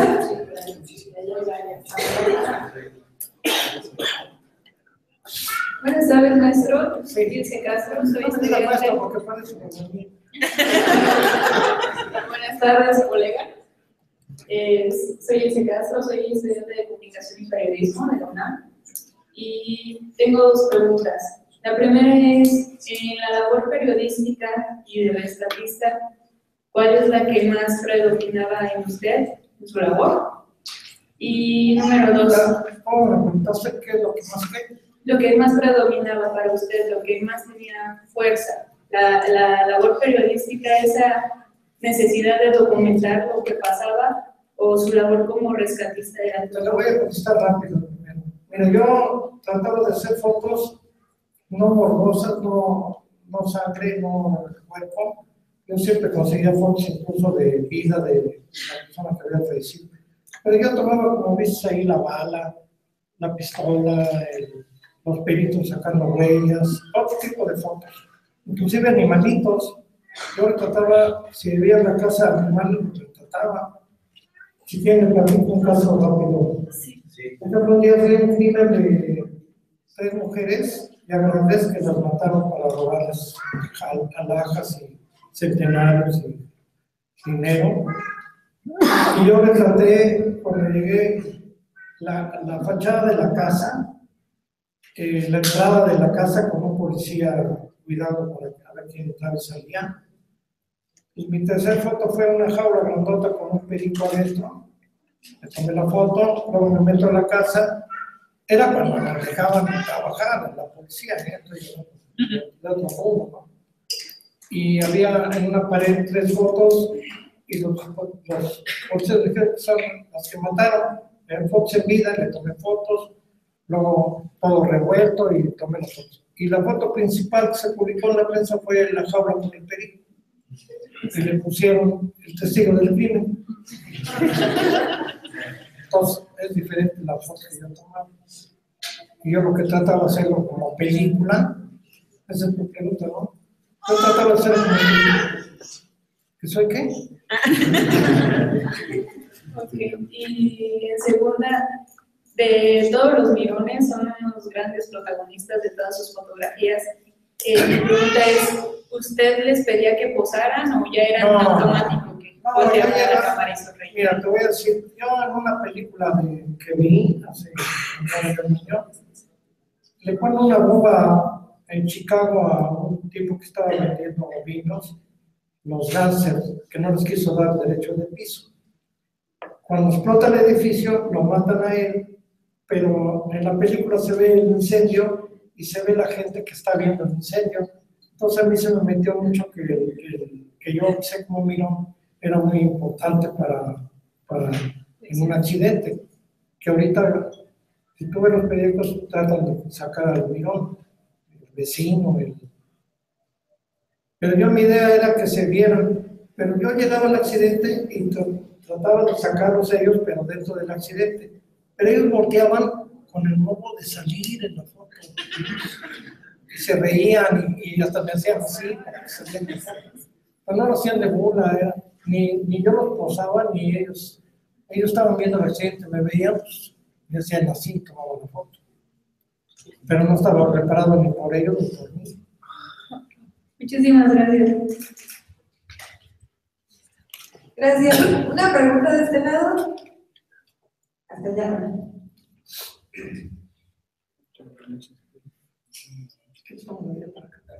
Hola, buenas tardes. Miren, lo que más me gusta de sus fotografías es la composición, es muy interesante.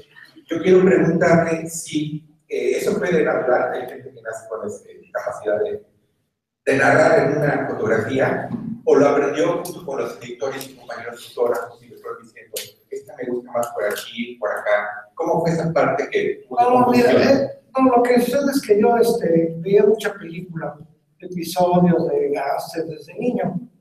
Entonces a mí me, yo me enseñé como si yo fuera el camarógrafo del- de la película, pero yo luego, luego agarré, como dicen ahora, la onda de cuál es la mejor foto y cuál es. Yo inclusive de una sola foto llegué a imprimir dos fotos y fue primera plana y última plana en la misma foto, pero dos escenas. Porque yo, si ven mi foto, por ejemplo, de los que están viendo en un vidrio roto, esa es una foto. Y la escena completa que se ve, no una niña y un chamaquito muerto, pues es, la foto completa.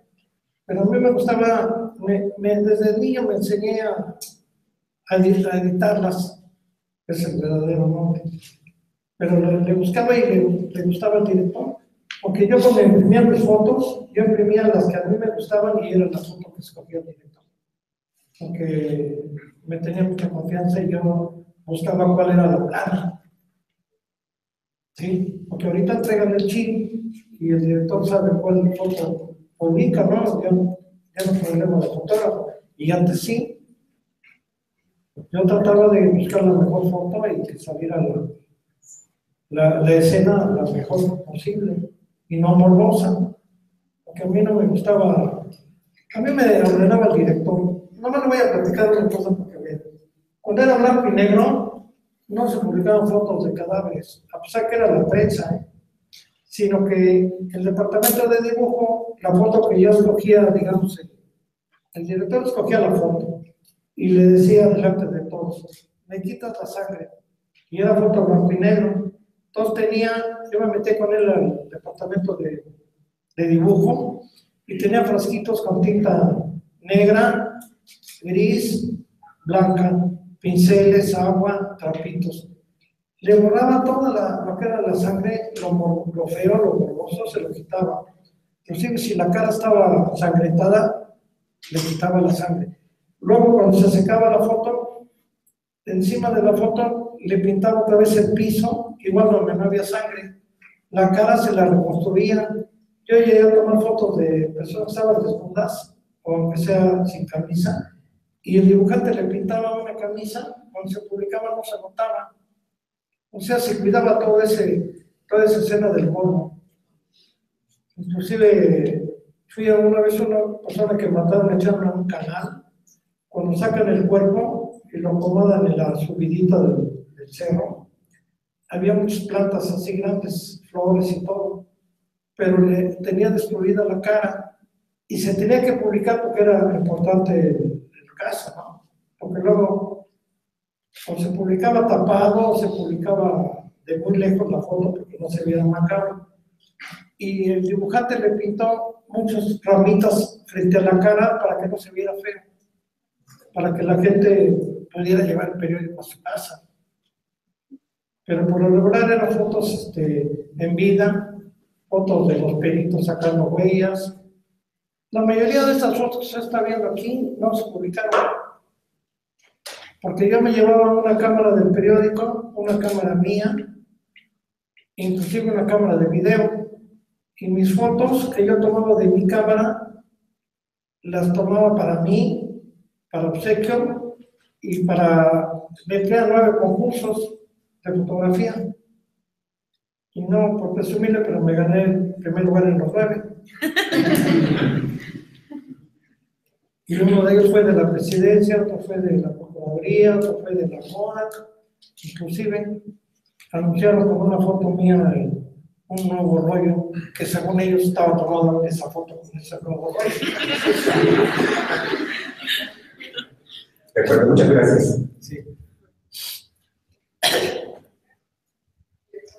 Hola, buenas tardes. Buenas. Eh, una pregunta. a usted que empezó tan, pues, de niño, ¿cómo afrontó ver la muerte o ver otros accidentes que pues, son crudos para uno?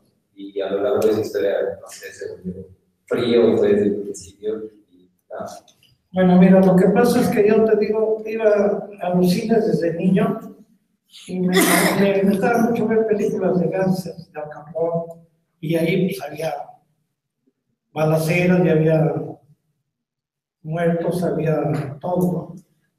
Y luego, de niño, me hacen, me invitan a ir a la delegación séptima, el juez calificador del Ministerio Público, y yo, yo veía ya muertos.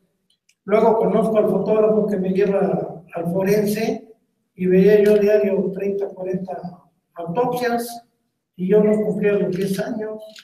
Me fui acostumbrando poco a poco, primero con las películas, luego verlos desde niño y después ya vi tantos que se van acostumbrando. Es como si le preguntas a un bombero si no le da miedo la llama, se van acostumbrando poco a poco, poco a poco.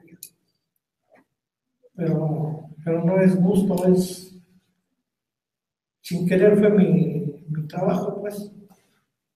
Mi profesión salió de casualidad porque yo empecé a jugar con, con una pelota, no igual con mi cámara. Y, y me cambió la vida conocer a un fotógrafo que me llevó. Y pues todo fue casual. Porque mi papá tenía un restaurante, entonces a lo mejor me hubiera dedicado a hacer tortas. Una pregunta más de este lado y regreso para aquel lado. Sí.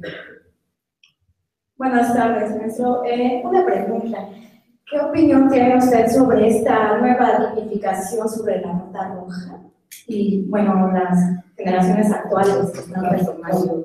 Las fotos de ahorita No, los últimos cinco años, ¿no? Que hay esa planificación sobre notas rojas, sobre fotógrafos, mirar atrás.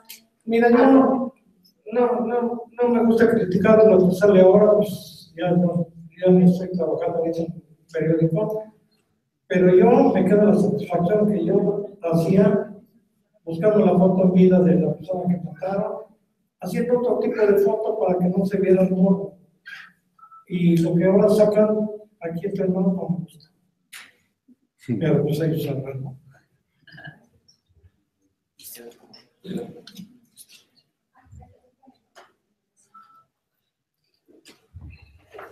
Regreso de este lado. ¿Qué fotógrafos te gustan? ¿Cuántas? Pues yo cuando veo en el espejo.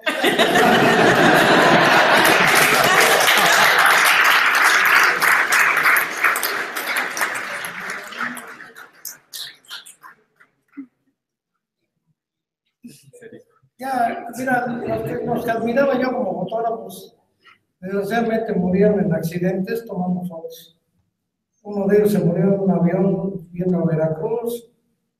Así se han muerto. Porque ese trabajo, la gente cree que no, la, no sabe ni quién, ni cómo está en el periódico, hay que ver lo que se arriesgó el que la tomó. Entonces, este, si quieres te platico a uno, Sí. pero no se vayan a reír. Era un fotógrafo que era del Excelsior, pero tenía una revista que se llamaba Magazine de Policía y la otra revista se llamaba Policía. Era tan, tan, ¿cómo se llama? Quería que no se viera lo, el sangriento y, y no me lo vas a creer, pero llegaba, casi siempre llegaba a tomar fotos de los que morían en el forense, porque yo le daba fotos en el lugar de los hechos, que no se publicaban en la prensa, pero no, se llamaba Adrián Devas. ¿Y sabes qué traía la cajuela? No me acuerdo así lo que hacían. Estaba el, el cuerpo. Y había unas como tinas, donde después de que le hacen la autopsia a alguien, lo meten a lavar para ya entregarlo a la familia. ¿Sabes qué hacía? Lo- él lo lavaba, lo peinaba, le ponía algo aquí así para que traía, traía hasta en la cajuela traía hasta un ladrillo y se lo ponía aquí para que le levantara la cabeza. Y le tomaba la foto y, ya no se veía horroroso. Pero, pero lo bañaba, lo peinaba, le ponía un ladrillo, arreglaba la cara, le quitaba toda la sangre y le tomaba la foto. Cuando se publicaba, no se, era el cuerpo, pero no se veía borroso. Y yo me caía bien porque ese detalle. Y todo lo traía en la cajuela, traía sábana, traía todo para arreglarlo y taparlo, para que no se viera desnudo, para que no se le viera, porque el que le hacen autopsia le empiezan a cortar desde aquí hasta aquí abajo y luego aparte le cortan aquí. No, es horrible. Y yo me tocaba ver fácil 30 diarios, pero él los, arreglaba para que no se vieran este. Pensando igual que yo en la familia que va a ver la foto. No sé si, está bien contestado o te contesto. Vamos a otra pregunta. Profesor, muchas gracias por todas esas eh, oportunidades, esas vivencias. ¿Nos podría compartir algunas, seguramente son muchas, del 2 de octubre del 68, del 10 de junio de 1971? ¿Hubo censuras, hubo fotografías que tenga? Pero no hay nadie que me reste.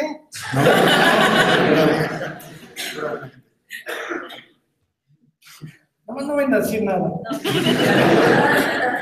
No, mira, yo cuando llegué al 68, eh, íbamos a salir ah, como a las 4, cinco fotógrafos a Tlatelolco que iba a haber una, un meeting. Y a mí me ordenaron que me quedara de guardia en el periódico y se fueron, se fueron cinco y yo me quedé en el periódico. Cuando pasó cinco y media, seis, nos avisaron que se había soltado una balacera y yo hablé precisamente a la Cruz preguntando y me dijeron, hay muchísimos heridos, están todas las ambulancias ya recogen heridos, hay mucho muerto. Entonces subimos a la azotea varios y se oían los tiros, hasta la prensa se oía desde Tlatelolco. Entonces me bajé, agarramos un coche con un reportero y nos íbamos para allá, pero estaba, venía la gente corriendo como loca toda a hacer la reforma. Entonces yo me bajé, dejé el reportero y me fui corriendo, corriendo, corriendo. Cuando llego a Tlatelolco, estaba la balacera tan fuerte que, que se metió la gente en un restaurante y yo me metí, me quedé casi media hora abajo de una mesa, porque estaban los tiros muy fuertes. Cuando se calmó, nos fuimos atrás de muchos soldados y la explanada, no, no me alcanzarían 50 mil pulpos de los dedos para contar cuántos había tirados ahí. Era horrible. Y estaban recogiéndolos y echándolos en camiones inclusive. Y yo tomé fotografías. Y cuando yo salía de ahí, se hizo un convoy de 15 ambulancias a la tercera delegación para llevar este, casi 115 muertos nada más en un solo, digamos, trayecto. Cuando llegamos a la tercera delegación, nos empezaron a acomodar y en el piso, porque no cabían. Y ahí me sentí muy feo porque estaba un niño que le faltaba de la nariz para arriba, que dicen que cayó de, de, una- de la parte alta del edificio, luego de la balacera. Había una muchacha muy bonita, que después supe que era hija de alemanes, que le dijo a sus papás que iba al cine con una amiga, se fue a loco, y tenía 19, casi 20 tiros en todo el cuerpo. Y así muerta, estaba bien bonita. Y una señora como de 80 años, que tenía heridas de, como, pues decían que bayoneta en la espalda. De ahí me fui al periódico de una ambulancia, ah, porque llegó, llegó el ejército, y yo, como nos estaban este, quitando los rollos, eso ya no te platiqué, pero antes, tres meses y una semana antes del 2 de octubre, hubo balaceras en toda la ciudad, hubo bombazos, hubo tiros, hubo todo. Incluso me tocó ir uno ahí a los doctores, estaban este, ocho, ocho que murieron haciendo bombas, que no se publicó nada. Y me tocó ir a balaceras, donde había muertos y todo, pero era referente a lo mismo, porque decían que eran terroristas y que estaban provocando la boca. Y de ahí me fui a la Cruz Roja a, a retratar heridos, pero ya no había ninguno, ya se los había llevado el ejército, se llevaron este, los heridos y los que habían muerto en la ambulancia y. Pero yo lo único que te puedo decir, de, de la rodilla para abajo, llegué a cambiarme el pantalón a la casa, lleno de sangre, porque no se podía pisar. Ya no te digo más porque me da pena. Gracias. Vamos a una pregunta más aquí atrás y paso al frente de ese lado. Aquí había- Sí, aquí abajo. ¿Dónde? Aquí manos levantadas. Pero No lo veo. No, allá va a ser. Buenas tardes. sí, lo buscaba por acá. No. Posiblemente no me recuerdes. Yo soy del periódico La Prensa de 1969. Soy Carlos Agustín. Nos acordamos. Me da muchísimo gusto de, ver el reconocimiento que se está dando. Que yo sé que es una, una persona muy trabajadora, muy esforzada en su trabajo. Y tuve el honor de retocar fotos tuyas. Lo que estaba yo platicando ahorita. Sí, con Álvaro Escalante. ¿Pero qué estabas? Este, ¿En dibujo? ¿En dibujo? Con Juan Manuel Hernández, Sí, Juan Manuel Hernández. Juanito, con Álvaro Escalante. Pero estoy mintiendo que tenía frasquitos con pintura y CLs y cuando tocaban, sí o no. Sí, sí, es cierto. Bueno, cosa que dijo que no. Qué gusto,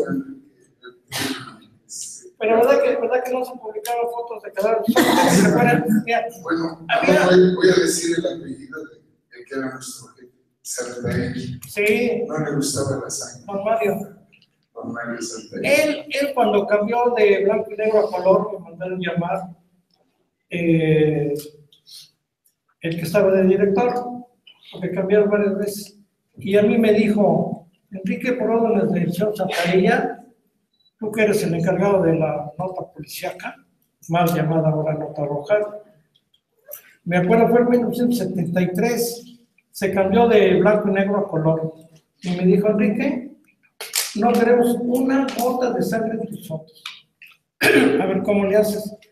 Pero no me saques fotos de cadáveres, saca tus fotos, pero aunque saques heridos, que no se vea una gota de sangre.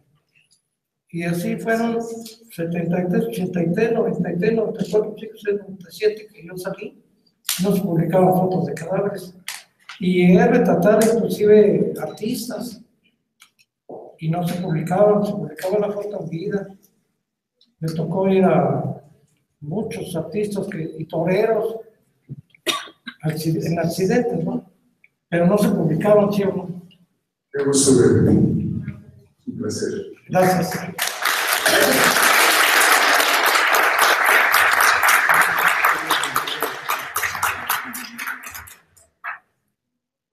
Bueno, buenas tardes. Mi nombre es Daniela Salaña y soy periodista. Bueno, regreso este año.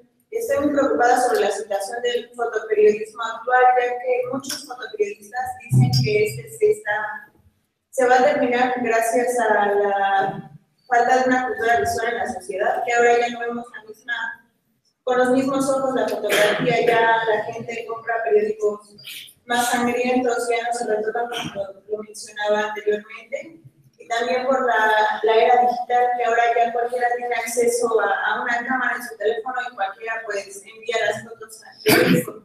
Me gustaría conocer su opinión sobre este tema. Mira, primero, si vas a tomar fotos, ponte un. ¿Cuáles usaban en las cruzadas? Aunque no te vayan a agredir. Que ya no nos dejan acercarse ni tomar fotos. Yo sé que incluso las fotos que están publicando no las toma ya ni el fotógrafo de- del periódico. Alguien la vende y le ponen foto especial. Pero antes éramos amigos del policía, del comandante, del, procurador, del, del jefe de homicidios, de los patrulleros, éramos todos, éramos una familia. Pero ahorita todos son en contra del periodismo. Porque lo que no quieren es que se sepa que, que hay 40 muertos al día. Pero si te mandan, pues trata de subirte a una azotea y tomarla con telefoto. Entonces, ¿usted cree que el fotoperiodismo sí se va a terminar? Pues es que mira, ahorita con, con el con tanto aparatito que hay ahora ya, ya ni las películas van a ver, ya los periódicos ya se venden menos. Yo, yo como mi periódico y llevo uno o dos de cada, de cada periódico y se acaban en media hora ya no está vendiendo tanto. Pero las que están publicando pues, están muy sangrientas. No sé que ni retocando las quedan. Pues, nomás ten cuidado. Yo, mi opinión sería que empezaran a buscar fotos como yo, la foto de la persona que, por ejemplo, la foto de la fachada de la casa, el arma, la foto en vida, pero si no quieren que se acerque el reportero, pues no van a conseguir. A nosotros nos dejaban tomar fotos de... Yo veía muchísima gente que moría, que estaba desconocida. Gracias a mis fotos, la familia sabía dónde estaba porque lo, lo secuestraban en la Ciudad de México y lo llevaban a, digamos, al estado de Morelos y lo aventaban en un barranco. Entonces el cuerpo estaba en el Ministerio Público de un pueblo, lo mismo cerca de Texcoco, lo mismo cerca de Querétaro, cerca de, de Toluca, y la gente lo buscaba aquí, pero yo llegaba a, a- a donde estaba el cuerpo y retrataba yo Mucha gente la identificaron por el reloj, por la esclava, por el anillo, por la ropa. Yo le tomaba fotos a, a todo y se publicaba la foto de la ropa. De, por ejemplo, la reconocían porque el reloj se le había regalado a un familiar y dice, mira, el reloj de mi familiar está en tal pueblo. Iban y lo recogían. Entonces yo digo que nos dejara la, policía tomar ese tipo de fotos, comprometiéndose ambos a no sacar la foto del cadáver. Con publicar la foto en vida, que era lo que yo hacía, yo llegaba lejos también. Si casualmente le habían dejado la, cartera o su licencia no, yo traía siempre hasta lupas. Entonces yo retrataba la foto en vida de la, de y se publicaba y la gente lo reconocía, pues está en tal lado y no estaba aquí, porque se perdía de aquí y aparecía, en- precisamente lo iban a deber en otro lugar donde la familia no pensaba que estuviera. Y eso, por ejemplo, te puedo decir, camino la Cusco así, cada mes nos tiraban por allá, pero lo reconocían por la ropa o por la foto en vida. Pero si no les dejan tomar ni eso, pues cuántos se van a la fosa común. Tan fácil. Bueno, eso sería todo. Muchas gracias. Ándale, papá. Voy a ahorita a hacer las preguntas acá enfrente. Nada más hay una persona que lo quiere saludar. Aquí atrás. Sí. Hola Enrique, estuvimos en la primaria y cambiamos estampitas, ¿te acuerdas? Me llamo Luis, nutriólogo. Paso más tarde, no te hago preguntas, no me puedes hacer preguntas. Invertir esto, nomás no me permites la edad. Retírate un poquito el micrófono porque. Mucho gusto.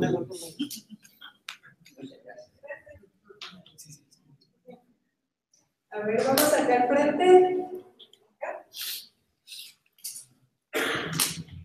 Pues continuando sobre el tema de la, de la crítica a lo que se hace en el periodismo de hoy, periodismo y fotoperiodismo, buenas tardes, yo soy Camilo Navarro, soy profesor de, de la UAP Xochimilco de la licenciatura de Comunicación Social y yo cuando me inscribí daba la justificación de que uno de los, de, la- de los temas de, que damos en el curso de periodismo en la UAP es obligadamente el trabajo de usted.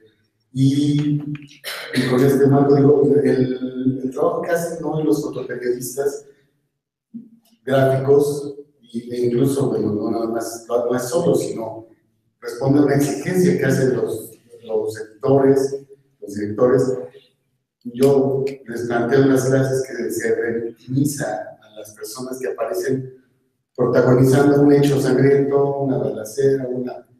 eh, y bueno, entrevistando directores, dicen ellos, no, somos muy cuidadosos. No sé, no, hablaba una compañera de atrás, una, este, chica de- que hay una redignificación, no la veo.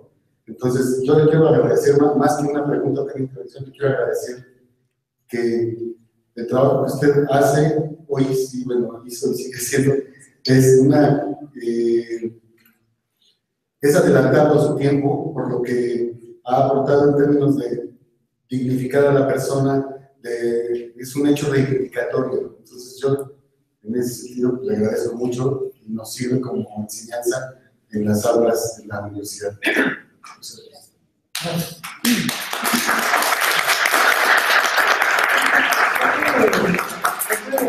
un caso que hubo sin esas fotos. Por ejemplo, la foto de la banda. Y por ejemplo, un día me tocó ir una, una, este, una señora, mató a su marido porque andaba con otra, se quitó el zapato y le pegó con el tacón del zapato alto, en el cráneo lo mató. Entonces yo fui a tomarle fotos a- al cadáver, pero ya sabía que no se iban a publicar. No me fui a la delegación y me prestó el Ministerio Público una, una identificación. Le tomé la foto en vida de, de era de la licencia. Cuando llegó el periódico, era el mejor caso del, del día. Una señora que mató a su marido con un zapato. Entonces yo pensé, dije, bueno, entonces, ¿qué foto tomo? Entonces agarré mi cámara, me atravesé a la avenida Hidalgo y me metí a una zapatería. Y le dije al dueño de la zapatería, le digo, oiga, vengo de la prensa, le pido un favor. Sí, dígame, ¿no me presta un zapato de mujer de tacón alto? Porque fíjese que una señora mató a su marido con zapatos, sí, cómo no. Y él mismo agarró el zapato así. Entonces publica la foto grandota de la mano con el zapato y a un ladito la foto en vida. Entonces quiere decir que con eso se dio a entender todo, ¿no? Y ni siquiera el zapato de la muchacha porque se fue. no la creatividad. cómo lo mató el arma homicida y el apopuntino. No se publicaba la foto del pueblo. Y sí teníamos una foto. ¿Me entiende? Vamos a otras dos preguntas. Algo que me parece extraordinario de su trabajo es la composición, que tiene que ver mucho con la cuestión del cine, con el montaje. Ya nos adelantó algo que parte de sus gustos son el cine gángster, Juan Obol, algunos directores más, algunas películas más, lecturas que sean de su lado. Algunos que hay, algunos Directores, películas, lecturas, libros. bueno, las películas que yo veía americanas, eran de los años, historias de los años 1910, del tiempo de Al Capone, 1920, pero las películas son hechas en los años 40. Y yo me iba a los cines estaban en, ahora en Lázaro Cárdenas, San Juan de Letrán, estaba el cine San Juan de Letrán, el cine Teresa, el cine cine por ahí. Y yo me fui acostumbrando a esas películas pero yo admiraba, digamos, este, cómo se hacía la película, cómo, si nos ponemos a ver ahorita, antes mataban con una pistola y mataban con un rifle, un ametrallador. Ahora es horrible, ¿no? Pero aún así, esas fotos a mí no me, gustan. Y sin embargo, ojalá se pudiera tomar ese tipo de fotos de antes. Y eso lo puede ver en libros de Willy, de fotógrafo de los años 20, que era otro tipo de foto. Pero yo admiraba las películas y me fui haciendo fotógrafo por esas. Porque yo inclusive, todas mis fotografías que yo tomaba, todas, todos los crímenes, era un arreglo del periódico con la policía judicial, o sea, la procuraduría, el servicio secreto, o sea, la jefatura de policía. Todos los casos que yo iba, porque además nadie iba más que yo, parece que. Es que no sé, trabajaba, sobre todo las noches, no trabajaba en fotógrafos. Y había un fotógrafo cada periódico, y yo, como andaba en las ambulancias, andaba por todos lados. Entonces, pasaban en la tarde por todas las fotos de todos los crímenes que yo fui, y fotos que no se publicaban, ¿eh? Pero yo, yo como lo hacía tipo película, entonces ellos agarraban, este, e investigaban con mis fotos. Incluso un día estando yo en la Procuraduría, a la oficina de prensa llegó un agente y me dice, Enrique, me tiene me gusta el señor procurador y el jefe de la Policía Judicial. Entonces todos los reporteros se pararon conmigo a ver qué querían, pensando algo malo, ¿no? Entonces fuimos a su oficina del procurador y un reportero le dijo que qué traía con Enrique. Así que no, dice, nomás queremos dar las gracias porque los otros nos mandó a ti del crimen de la colonia obrera, una persona que mataron a tiros, ya encontramos al asesino, estaba en la foto. Pero resultó que este tipo lo habían agarrado un día antes y dijo que él estaba fuera de México y llevó dos testigos. Lo detuvieron, pero llevó dos testigos y dijeron que estaba con ellos en otro lugar. Y con el foto se vio que sí estaba ahí en el lugar de los hechos. Todos los tres se fueron a la casa por el foto. Pues, que me dio la. Gracias. Es que, es que el asesino siempre hacer una última pregunta de este lado. Sí. Hola, buenas tardes. Bueno, Después de haber vivido, parece que muchos sucesos trágicos y muchas, muchas historias tristes, o sea, a través de todo lo que vivió, eh, ¿qué piensa de la vida en sí? O sea, ¿qué piensa en sí de, o sea, cómo, cómo superar todo eso que vio? ¿Pero qué tratas de decirme? ¿Que ¿Cómo, ¿Cómo va la vida? Pues, ¿cómo? No, no, no, o sea, pero, pero, eh, o sea, después de haber vivido cosas así tan fuertes, o sea, con esto, con historias, ¿cómo, Te vas, te vas acostumbrando poco a poco a, a vivir, no es como, mira, y esto no lo digo por grito, pero me tocó ir al forense, te juro que estaban haciendo la autopsia ya. Pues, ¿Cómo te explicas eso? Entonces te vas acostumbrando a todo y tú sigue tu vida, cada quien su vida como, la lleva, ¿no? Pero pues así es, como dicen en la película, así es la vida. pero está difícil. Pero sí, yo todavía ahorita, ahorita, ahorita, sueño que voy a, a un incendio, estoy tomando fotos y voy al periódico y se publica. ¿Qué te acostumbras? Sí, cierto. Sí, sí,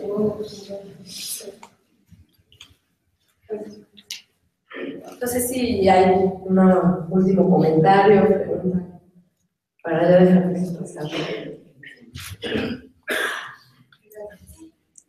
Hola, buenas tardes.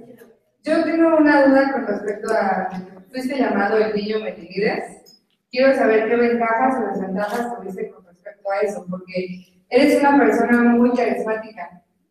Entonces, ¿Qué dice el niño o qué quieres decir? Ajá, no, no. Entonces quiero saber, por ejemplo, en tus fotos, siendo un niño, ¿qué, qué ventajas tenías tanto en- cuando pasaste para que te dejaran subir o para decir, no, no, no, ¿qué tenía este niño aquí?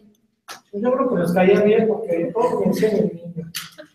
Y cuando has visto ahorita, o bueno, ahorita, un niño de nueve años, en los ojos de un bombero, adentro de un cielo tomando agua, no lo vas a ver yo. Cuéntame la de ¿Cuál fue? cuando entraste al Ecuberri y, cosas. Ah, bien, yo iba diario con el doctor Augusto Antonio Velázquez Alcoberri, la penitenciaría.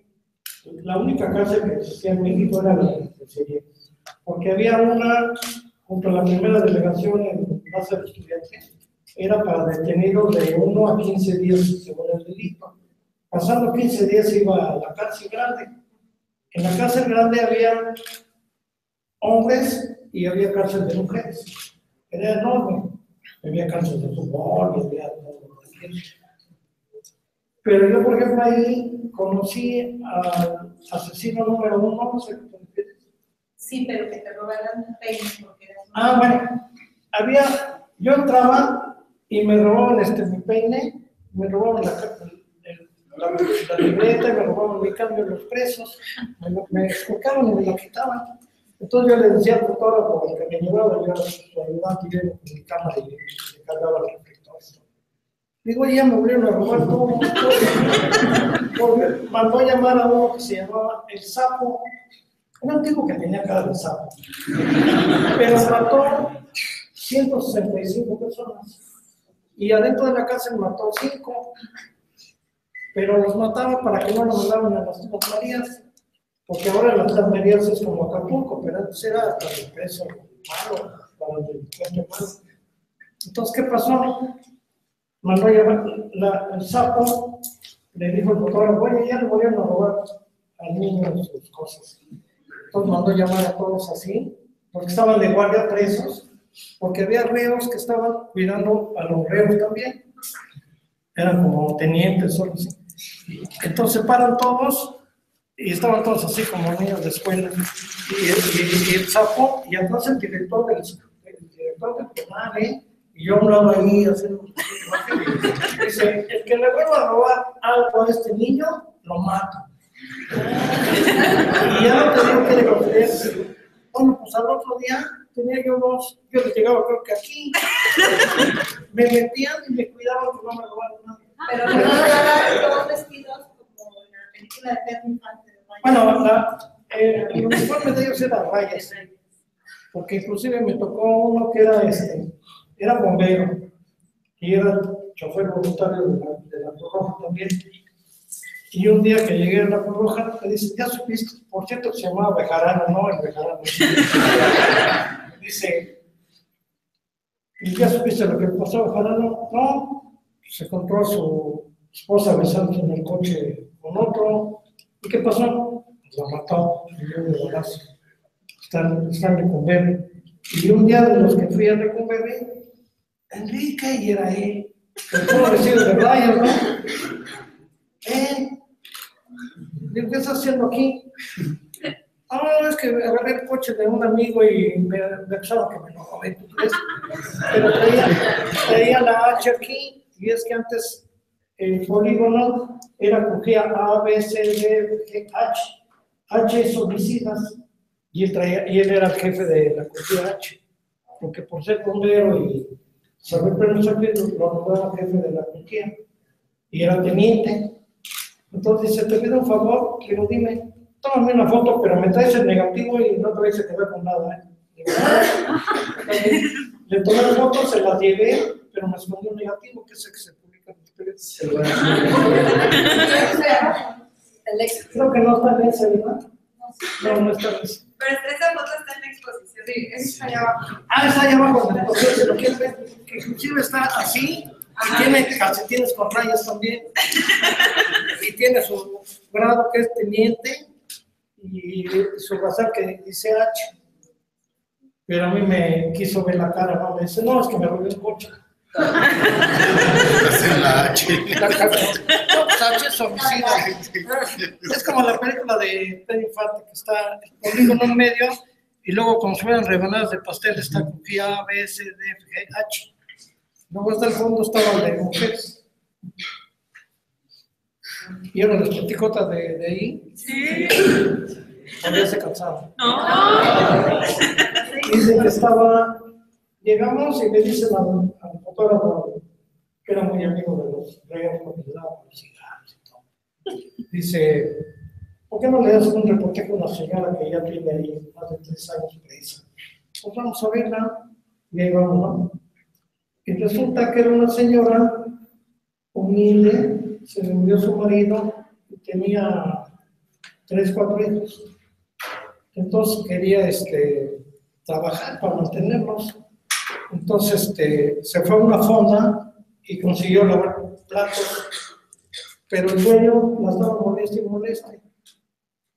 O sea, la cosa. Entonces le dice, no, se acaba de ver un marido yo estoy trabajando para mantener a mis hijos.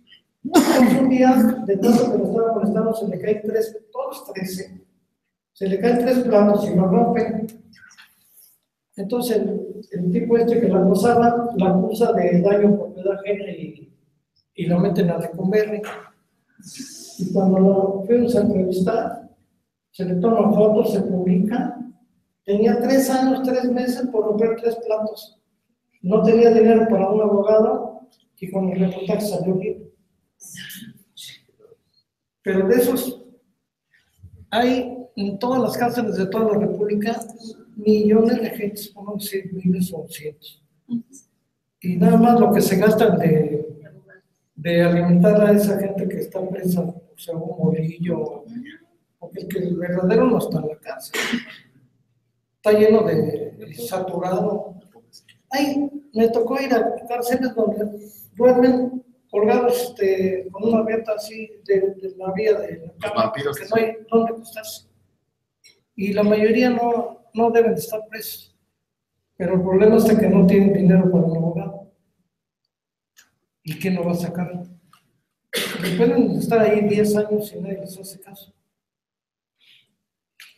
En la parte de la cárcel, una vez que decía, en este mundo, en este lugar maldito. Ah, no, eh, eh, tengo una foto de un letrero, es que me acuerdo bien.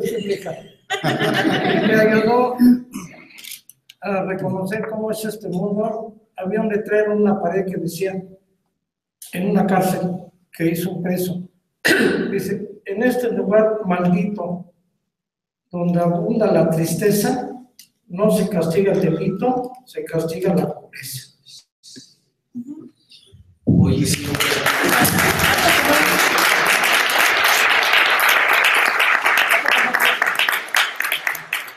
No me castiga el delito,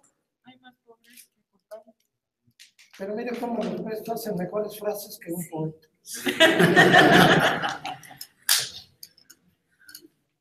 Creo que necesitamos otro día que regrese, maestro.